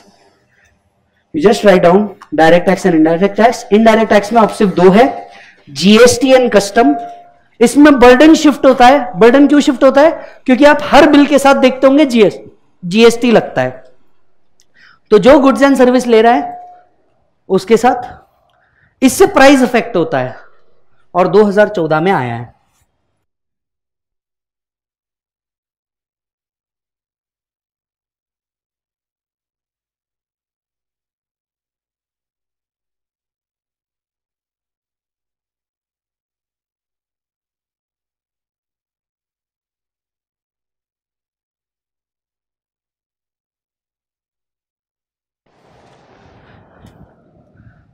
मेरा देश महान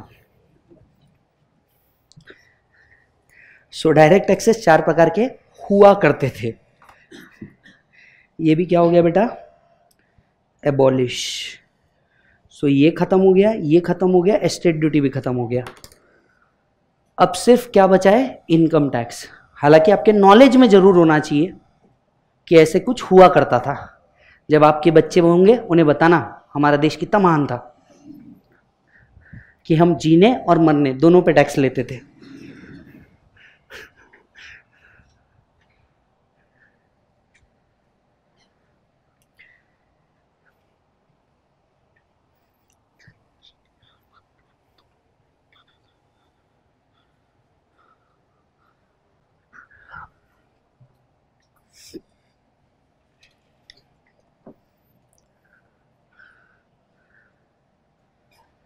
इनडायरेक्ट टैक्सेस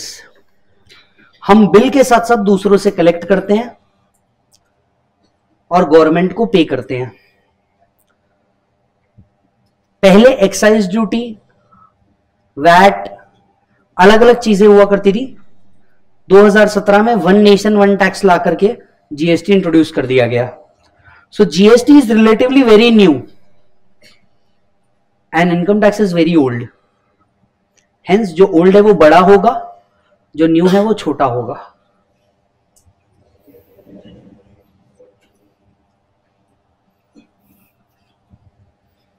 अब समझे विशाल सर थोड़ी देर पहले क्या बोल रहे थे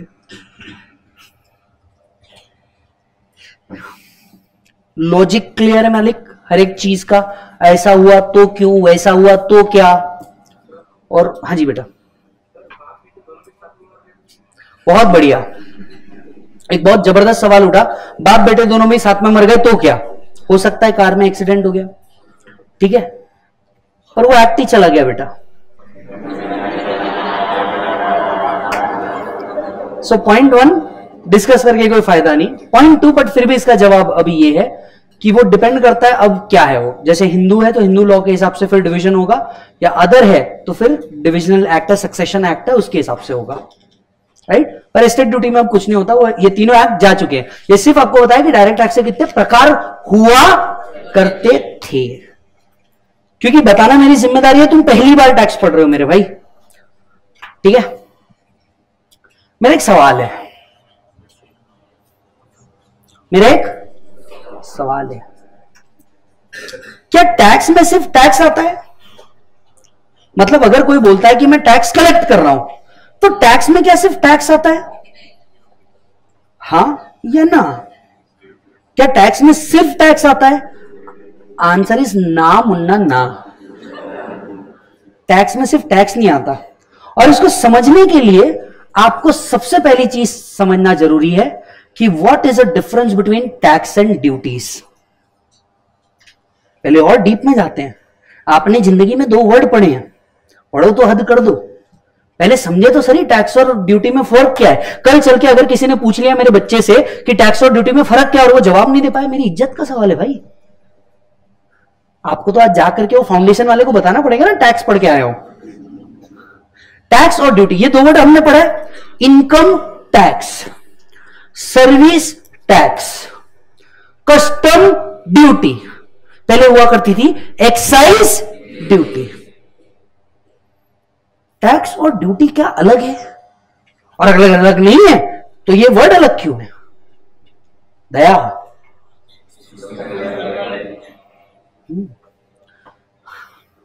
हाँ तो सर बताइए आप सभी future professionals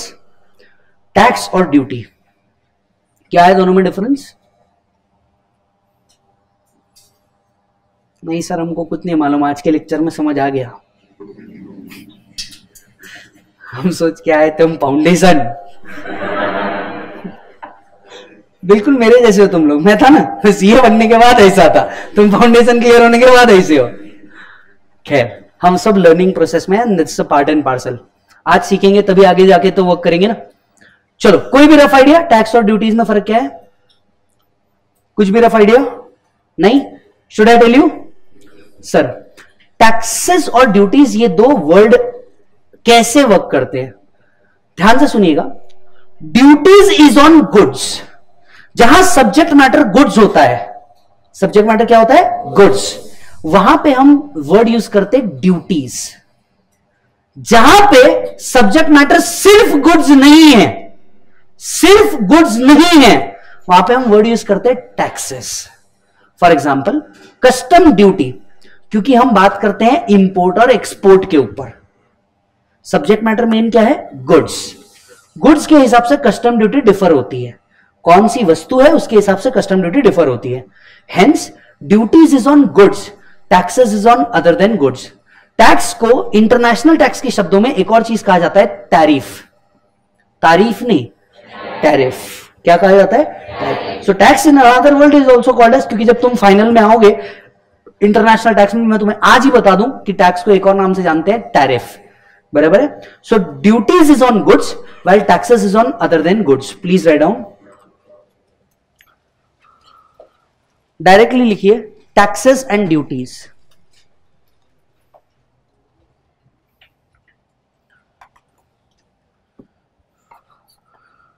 taxes are also called as tariff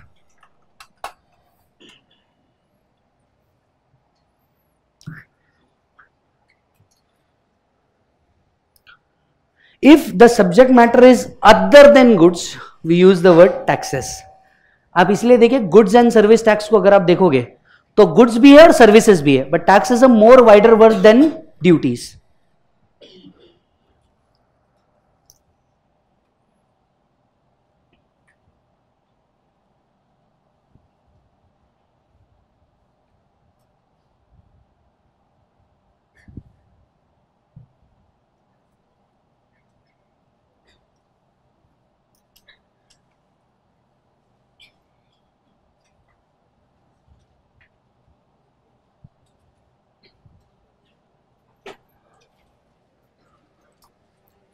is that done चलिए तो एक सवाल था क्या टैक्स में सिर्फ टैक्स आता है आंसर इज नो टैक्स में सरचार्ज भी आता है और सेस भी आता है जब हम किसी वर्ड को कहते हैं कि आप पे टैक्स लगाए तो टेक्निकली हम उस पर सिर्फ टैक्स नहीं लगाते हम टैक्स के साथ साथ सरचार्ज एंड सेस भी लगाते हैं स्पेलिंग फिर से सुनिए C E S S right so tax में क्या क्या इंक्लूड होता है टैक्स प्लस सरचार्ज प्लस हाँ ठीक है pronounce it right so tax में सिर्फ टैक्स आता है क्या बेटा नहीं तो टैक्स तो आपको पता चल गया था इट इज अ टैरिफ हम इनकम टैक्स एक्ट 1961 पढ़ रहे हैं एक्ट हमने खोद दिया हम दूसरा वर्ड खोद रहे हैं टैक्स टैक्स खोदने का जब हमें पहली चीज पता चली टैक्स दो प्रकार के होते हैं डायरेक्ट और इनडायरेक्ट दूसरी चीज पता चली टैक्स और ड्यूटी में फर्क क्या है हम तीसरी चीज पे आ गए क्या टैक्स में सिर्फ टैक्स होता है आंसर इज नो टैक्स में तीन चीजें होती है टैक्स सरचार्ज एंड सेस अब आप ये पूछेंगे सरचार्ज क्या है पूछो ना सरचार्ज क्या है बेटा सरचार्ज का मतलब होता है एडिशनल लेवी क्या मतलब होता है एडिशनल लेवी कई बार सरकार को कुछ एडिशनल टैक्स कलेक्ट करना होता है ये किन से कलेक्ट किया जाता है ये कलेक्ट किया जाता है अमीरों से सिर्फ ये गरीबों से नहीं लिया जाता ये सिर्फ अमीरों से लिया जाता है विद द कॉन्सेप्ट अमीरों से लेंगे गरीबों को देंगे प्रोग्रेसिव बेसिस तो ये सिर्फ अमीरों से लिया जाता है अमीर मतलब कौन हाल फिलहाल में अमीर मतलब जिसकी एनुअल इनकम पचास लाख से ऊपर हो जिसकी एनुअल इनकम कितने से ऊपर हो पचास लाख से ऊपर हो उनसे सरचार्ज लिया जाता है सर सरचार्ज लेने का पावर कहां से आया सरचार्ज लेने का पावर आया अगेन कॉन्स्टिट्यूशन से constitution article number 271 article number सरकार को पावर देता है कि आप टैक्स के अलावा कुछ एडिशनल अमाउंट भी कलेक्ट कर सके इसे हम कहेंगे सर चार्ज जब आपकी इनकम एक लिमिट के ऊपर जा रही हो आपसे और कलेक्ट किया जाएगा एक छोटी सी बात बताता हूं इमेजिन कीजिए अगर अगर एक चाय बेचने वाले की इनकम लेट से पांच लाख रुपए होगी उससे अगर टैक्स मांगने जाए तो एज ए टैक्स पेयर उसके मन में एक पॉइंट तो आता होगा यार मैं गरीब साल भर में पांच लाख रुपए ही कमा रहा हूं तुम मुझसे क्यों लेते हो अंबानी इतना कमा रहा है उससे क्यों नहीं लेते सलमान खान इतना कमा रहा है आप उनसे क्यों नहीं लेते इनके तरफ से रिप्लाई जाता है सर हम उनसे भी लेते हैं कितना टैक्स तो लेते ही लेते हैं सरचार्ज भी लेते हैं उनसे तो आर्टिकल 271 हमें पावर देता है कुछ लोगों से और एक्स्ट्रा कलेक्ट करने का आर्टिकल नंबर 271 ये कितना है क्या है सब बाद में देखेंगे अभी आपको सिर्फ समझना है सरचार्ज मतलब क्या होता है सो so, सरचार्ज का मतलब क्या होता है ये लेवी किया जाता है कौन से आर्टिकल के हिसाब से 271 ये एक एडिशनल टैक्स होता है जिसे हम टैक्स ऑन टैक्स भी कहते हैं टैक्स का एक परसेंटेज बोल करके सरचार्ज लिया जाता है इनकम का नहीं टैक्स का एक परसेंटेज सरचार्ज बोल के लिया जाता है सरचार्ज मैंडेटरी है अगर कंडीशन सेटिस्फाई हो जाए तो मतलब प्रॉब्लम में आपको बोलेंगे नहीं tax plus surcharge plus cess निकालो प्रॉब्लम आपको सिर्फ इतना बोलेगा टैक्स निकालो ये आपको ढूंढना है वो इनकम उतने से ऊपर जा रही है क्या तो मुझे सरचार्ज लगाना है तो ये आपको ढूंढने वाली बात है और ये मैंडेटरी है आपको ऑप्शन नहीं दिया आप पे करेंगे या नहीं करेंगे मैंडेटरी है इनकम पचास लाख के ऊपर गई सरचार्ज आ गया getting it not so please write down surcharge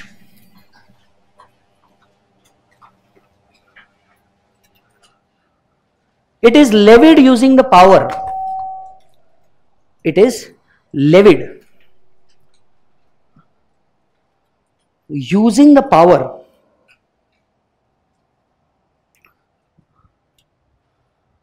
under article 271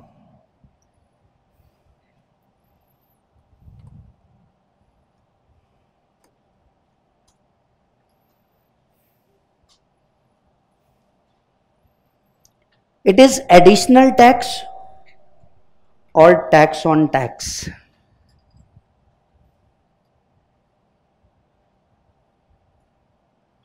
It is additional tax or tax on tax.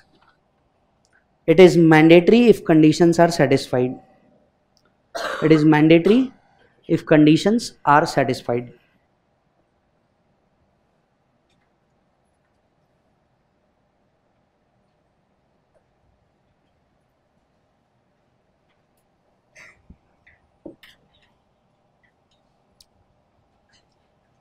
Done मालिक प्रभु डन आज का एक आखिरी वर्ड सेस सेस पहले नाम हुआ करता था मोदी गवर्नमेंट ने इसका नाम बदल दिया है और इसका नाम रख दिया एच ई सी हालांकि इसे आज भी सेस के नाम से ही जाना जाता है बस नाम रीचेंज कर दिया है एच ई सी जिसका फुल फॉर्म हो गया हेल्थ एंड एजुकेशन सेस 2014 की बात है जब मोदी जी आए और उन्होंने कहा मेरी प्राथमिकता पढ़ाई और हेल्थ की तरफ है और इसीलिए सेस आया सेस क्या होता है सेस अगेन एक और लेवी की जाती है किस लिए किसी स्पेसिफिक पर्पस को पूरा करने के लिए जैसे कि अगर आप नाम देखें हेल्थ एंड एजुकेशन सेस सरकार इस पैसे से अपने कुछ स्पेसिफिक पर्पस पूरे करती है सरकार इस पैसे से अपने कुछ स्पेसिफिक पर्पस पूरे करती है एग्जाम्पल आपको दे देता हूं सर्व Shiksha Abhiyan mid day meal scheme ये क्या चीज होती है सर्व शिक्षा अभियान और mid day meal scheme Bharat सरकार की एक पहल है गरीब या लोअर तबके के वर्गों के लिए जो बच्चे हैं उनका एजुकेशन और हेल्थ नेशनल हेल्थ मिशन के तहत जो पैसा लगता है या मिड डे मील स्कीम के तहत जो पैसा लगता है या सर्व शिक्षा अभियान के तहत जो पैसा लगता है आपने इनफैक्ट एक मूवी भी देखी होगी हिचकी हर स्कूल में मैंडेटरी है कि लोअर तबके के कुछ लोगों को मैंडेटरीली आपको रखना पड़ेगा जिसका कॉस्ट सरकार बेयर करती है ये पर्पजेस सेस से पूरे होते हैं समझ में आई बात तो टैक्स में आप सिर्फ टैक्स देते क्या नहीं टैक्स अमीरों से एक और चीज ली जाती है सरचार्ज और सेस सेस अगेन मैंडेटरी होता है आपको प्रॉब्लम में बोला हो नहीं बोला आपको लगाना है प्रॉब्लम में बोला हो नहीं बोला है हालांकि मैं आपको एक बहुत इंपॉर्टेंट बात बता दूं टैक्स का पैसा जो कलेक्ट होता है सरकार इससे कुछ भी कलेक्ट कर सकती है पर सेस का जो पैसा होता है सरकार इसे सिर्फ स्पेसिफिक पर्पस के लिए ही यूज कर सकती है किसी और पर्पस के लिए नहीं जैसे हेल्थ एंड एजुकेशन सेस में जितना टैक्स कलेक्ट होगा ये सिर्फ हेल्थ या एजुकेशन के लिए यूज किया जाएगा मान लीजिए आर्मी वालों की सैलरी देना है वो इससे नहीं हो सकती गेटिंग इट और not so what is cess now renamed as health and education cess it is again an additional levy एक और चीज है जो लगाई जाती है मैंडेटरी है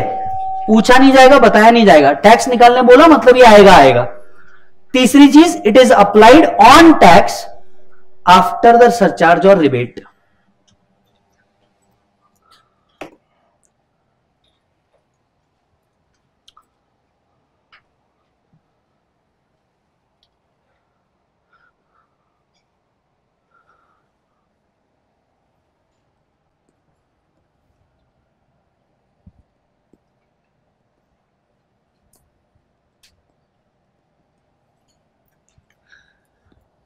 it is additional levy एक और चीज़ है जो लगाई जाती है मैंडेटरी है याद होगा तो लेवी का मतलब हम पढ़ चुके हैं लगाना it is applied on tax after surcharge और रिबेट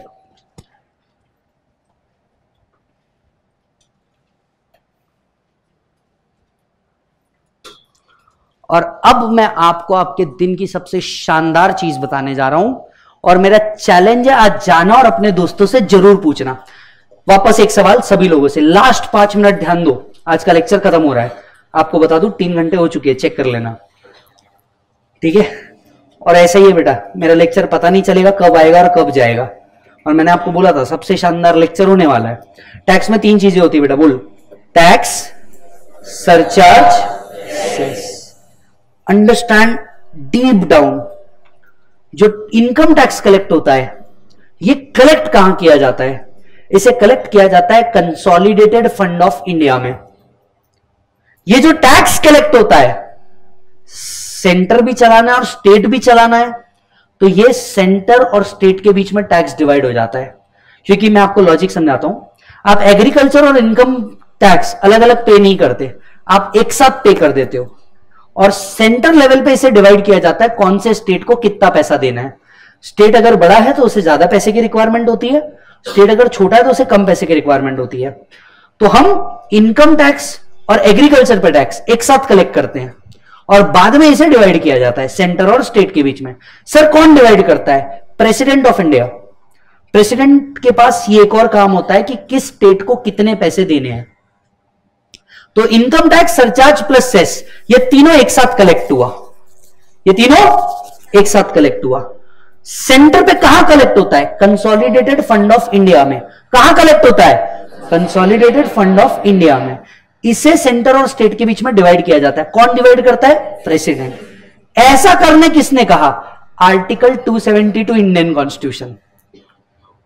article 272 Indian constitution ने कहा कि जो भी टैक्स कलेक्ट होगा सेंटर और स्टेट के बीच में डिवाइड होगा और ये डिवीजन का पावर किसी भी पार्टी के हाथ में नहीं president the first person of India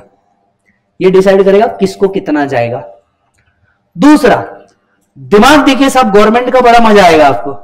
surcharge collect होता है बोलो हाँ सरचार्ज भी पार्ट बनता है कंसोलिडेटेड फंड ऑफ इंडिया का स्टॉप ये सिर्फ यूनियन को जाता है ये सेंटर और स्टेट में डिवाइड नहीं होता मोदी गवर्नमेंट उनने सरचार्ज बढ़ाया टैक्स नहीं कई पर्पज थे जो पूरे करने थे कई आर्टिकल हटाने थे मंदिर बनाना था tax has a lot to do with politics उन्होंने टैक्स नहीं बढ़ाया सरचार्ज बढ़ा दिया ये जो एग्जिस्टिंग गवर्नमेंट है इनके काम करने का तरीका बहुत रॉबस्ट है कुछ पैसा इनको अपने हाथ में ही होना कुछ सेंटर एंड स्टेट डिवीजन नहीं कुछ पैसा अपने हाथ में रहेगा और कुछ पॉलिसी हम ही चलाएंगे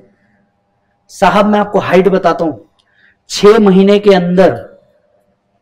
ऑलमोस्ट आठ महीने हो गए अब सरकार को आठ महीने के अंदर इस सरकार ने करीब बत्तीस लॉ बदल दिए आठ महीने के अंदर इन्होंने छह ऐसे काम कर दिए जो इनने अपने 2019 के मैनिफेस्टो में लिखे थे ये वाला आर्टिकल हटाएंगे ये स्टेट को डिवाइड कर देंगे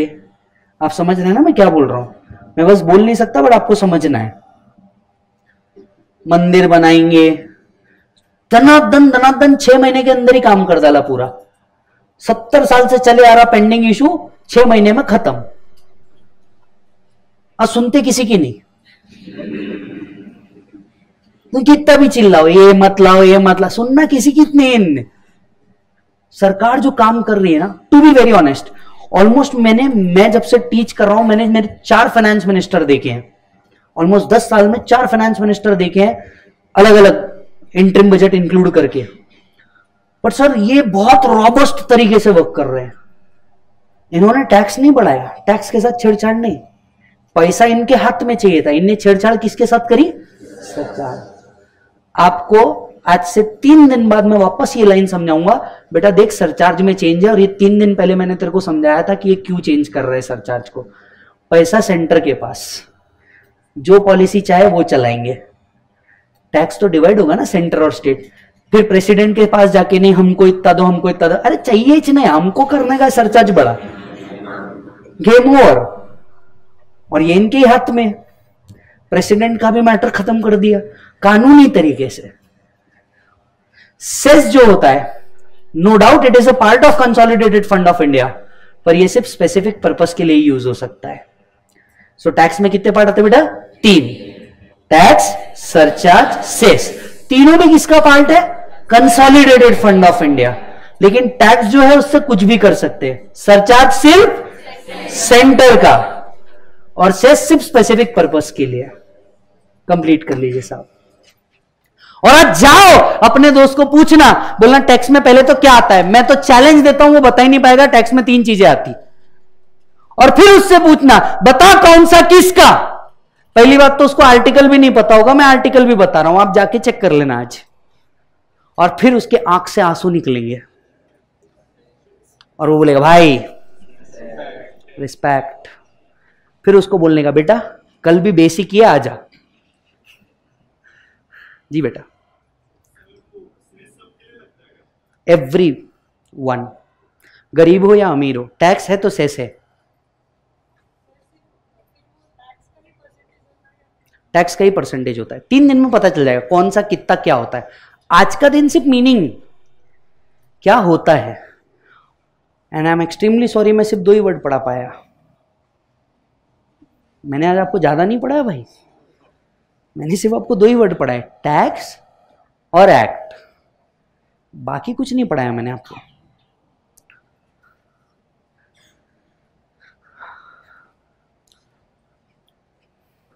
आप इसे सी एफ आई भी लिख सकते हैं consolidated fund of India C F I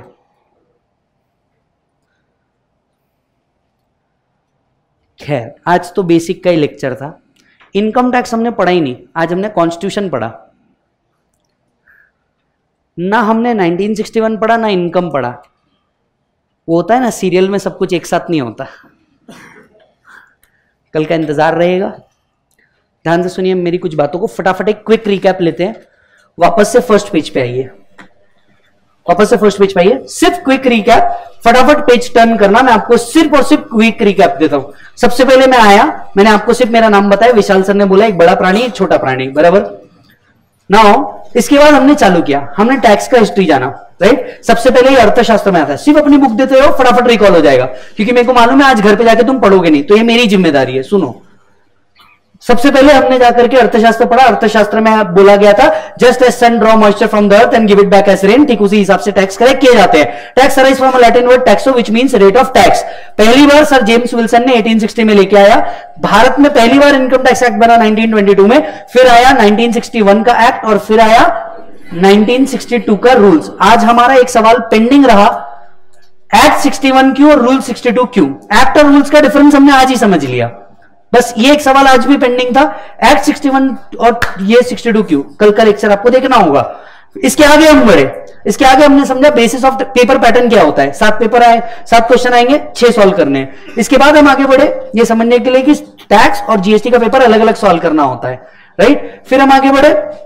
हमने समझा टैक्स जो होता है प्रोग्रेसिव बेसिस पे कलेक्ट होता है higher the income higher the tax stop higher the income higher the tax जितना ज्यादा कमाओगे टैक्स तो लगेगा ही हायर द इनकम हायर और इन दो पे सेस भी लगेगा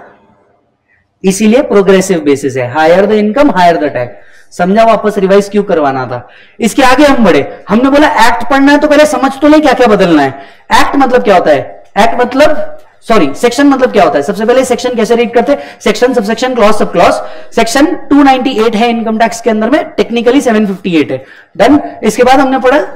एक्ट क्या होता है act is division of an act in systematic manner ignorance of law has no excuse clear है फिर हमने पढ़ा नोटिफिकेशन मतलब क्या होता है communication of any change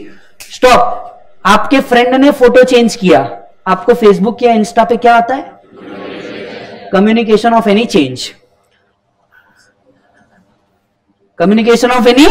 chain notification six month before के एग्जाम के सारे नोटिफिकेशन एप्लीकेबल होते हैं notification E gazette dot nic dot in से मिल जाएगा नोटिफिकेशन और एक्ट अगर दोनों भिड़ गए तो नोटिफिकेशन जीतेगा फिर आया सर्कुलर सर्कुलर क्या होता है डिपार्टमेंट वालों के लिए है आपके लिए डिपार्टमेंट कोई और ओपिनियन ना ले कि ये कचरा है बॉनविटा है या विस्की है इसीलिए उनको एक ही चीज बोली circular which is circulated to all six month before exam are applicable website से मिल जाएगा इनकम टैक्स इंडिया और जीवी डॉट इन फिर हम आगे बढ़े हमने देखा कि पहले केस लॉ पढ़ने का या एक्ट सबसे पहले एक्ट पढ़ने का एक्ट के बाद केस लॉ केस लॉ के बाद कस्टम फिर हमने पढ़ा एक्ट में क्या सिर्फ एक्ट होता है आंसर इज नो एक्ट में एक्ट होता है एक्ट के बाद क्या होता है शेड्यूल शेड्यूल के बाद क्या होता है अनेक्स्ट ये तीन चीजें होती है ठीक है फिर हमने पढ़ा फिर हम आगे बढ़े हमने क्या पढ़ा एक और चीज पढ़ी बोलो क्या क्या चीज पढ़ा हमने लॉ मेकिंग प्रोसेस पढ़ा हमने लॉ मेकिंग प्रोसेस क्या थी मालिक लॉ मेकिंग प्रोसेस सबसे पहले दो तरीके से एक जब पार्लियामेंट सेशन में हो कौन बनाएगा पार्लियामेंट और पार्लियामेंट सेशन में ना हो तो पार्लियामेंट बना सकती है as per article number 265 president बना सकता है आर्टिकल ठीक है ये बनाया ऐसे क्या कहते हैं ऑर्डिनेंस कितने महीने के लिए वैलिड होता है सिक्स मंथ्स के लिए लॉजिकल फिर हम गए 265 में 265 में कहा no taxes can be levied और collected except by authority of law right तो हमने समझा कोई भी टैक्स लगाना है तो पहले कानून लगेगा लॉ लगेगा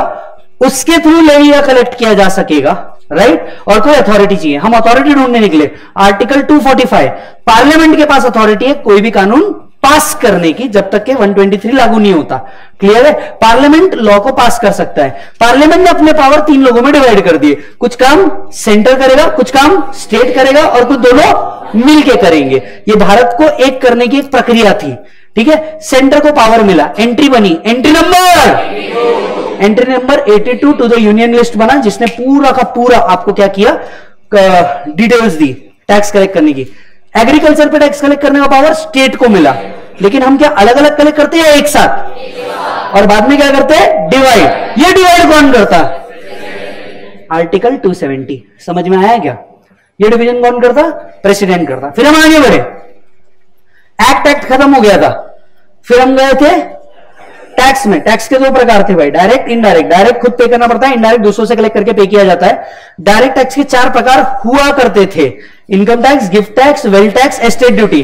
तीन सस्ते नशे खत्म किए और एक इनकम टैक्स लेके आ गए याद आया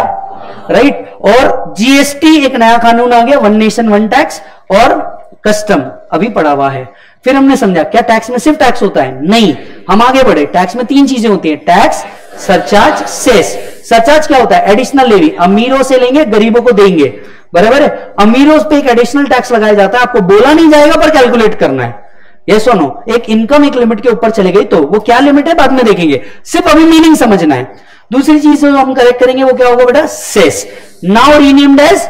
HEC health and education cess जो सिर्फ स्पेसिफिक पर्पज के लिए मैंडेटरी है बोला हो नहीं बोला हो कैलकुलेट करना होगा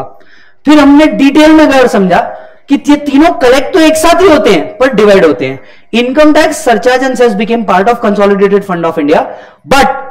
income tax centre और स्टेट में डिवाइड होता है जैसा प्रेसिडेंट कहेंगे वैसा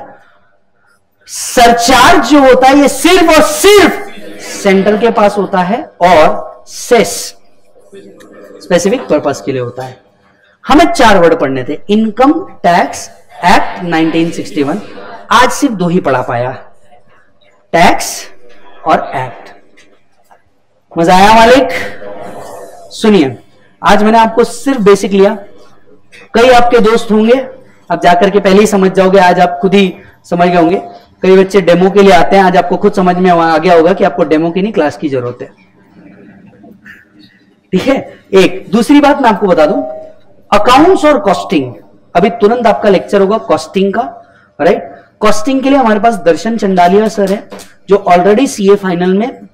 यू नो कॉस्टिंग ले रहे हैं मुंबई में नासिक में और पुणे में ऑलरेडी पढ़ाते हैं आप किसी भी सीए फाइनल वालों से पूछोगे तो आपको वैसे ही दर्शन सर का नाम बता देगा और दो बजे आपका खाने का ब्रेक होगा दो मतलब दो या दो दस को करीब ढाई बजे तक के आपका क्या होगा लॉ होगा और ढाई बजे से आपका एक और टॉपिक शुरू होने वाला है दर्शन सर आगे ढाई बजे से आपका एक और चालू होने वाला है और एक तूफान आदमी से मिलने का मौका मिलेगा तुम्हें Darshan Khare sir sir please come give round of applause for Darshan sir sir ये लोग बहुत एनर्जेटिक बैच है सर अभी बहुत हंस रहे थे पता नहीं मेरे पे क्यों हंस रहे थे ये लोग तो ये है दर्शन चंडालिया सर फाइनल में ऑलरेडी लेते हैं मैं आपको एक ही चीज बोल पाऊंगा कि वी स्मार्ट के अंदर में एक चीज तो बड़ी कॉमन है अगर आपको एनर्जी लेवल जो आपको दिखेगी वो सुबह से लेकर शाम तक के हर टीचर की बिल्कुल वैसी दिखेगी जो अकाउंट्स में बैठे होंगे वो समझ गए होंगे अभी तक के और एक बात मैं आपको बोल सकता हूं कि अगर आप मेरे को पसंद कर रहे हैं मेरा लेक्चर पसंद आया होगा तो आप एक बार बैठ के देख लो जिन जिनने अभी तक के डिसाइड नहीं किया होगा तो एक बार बैठ के देख लो आपको बहुत ज्यादा मजा आएगा इस बात की गारंटी मेरी राइट सो so, ये सारी चीजें हैं ढाई बजे से साढ़े चार या पौने पांच बजे तक के आज होगा दर्शन सर का कॉस्टिंग है और हमारे पास एक और दर्शन सर है दर्शन खरे सर उनका लॉ और अलग लेवल पे ही है वो तो राइट तो सुबह से लेकर शाम तक के वी स्मार्ट के अंदर में ये चीज बहुत अच्छी से होगी कि हर टीचर जो इंटर में है वो फाइनल में भी है और उस लेवल का मजा आपको जरूर आएगा इज दैट डन बाय बोलो बच्चों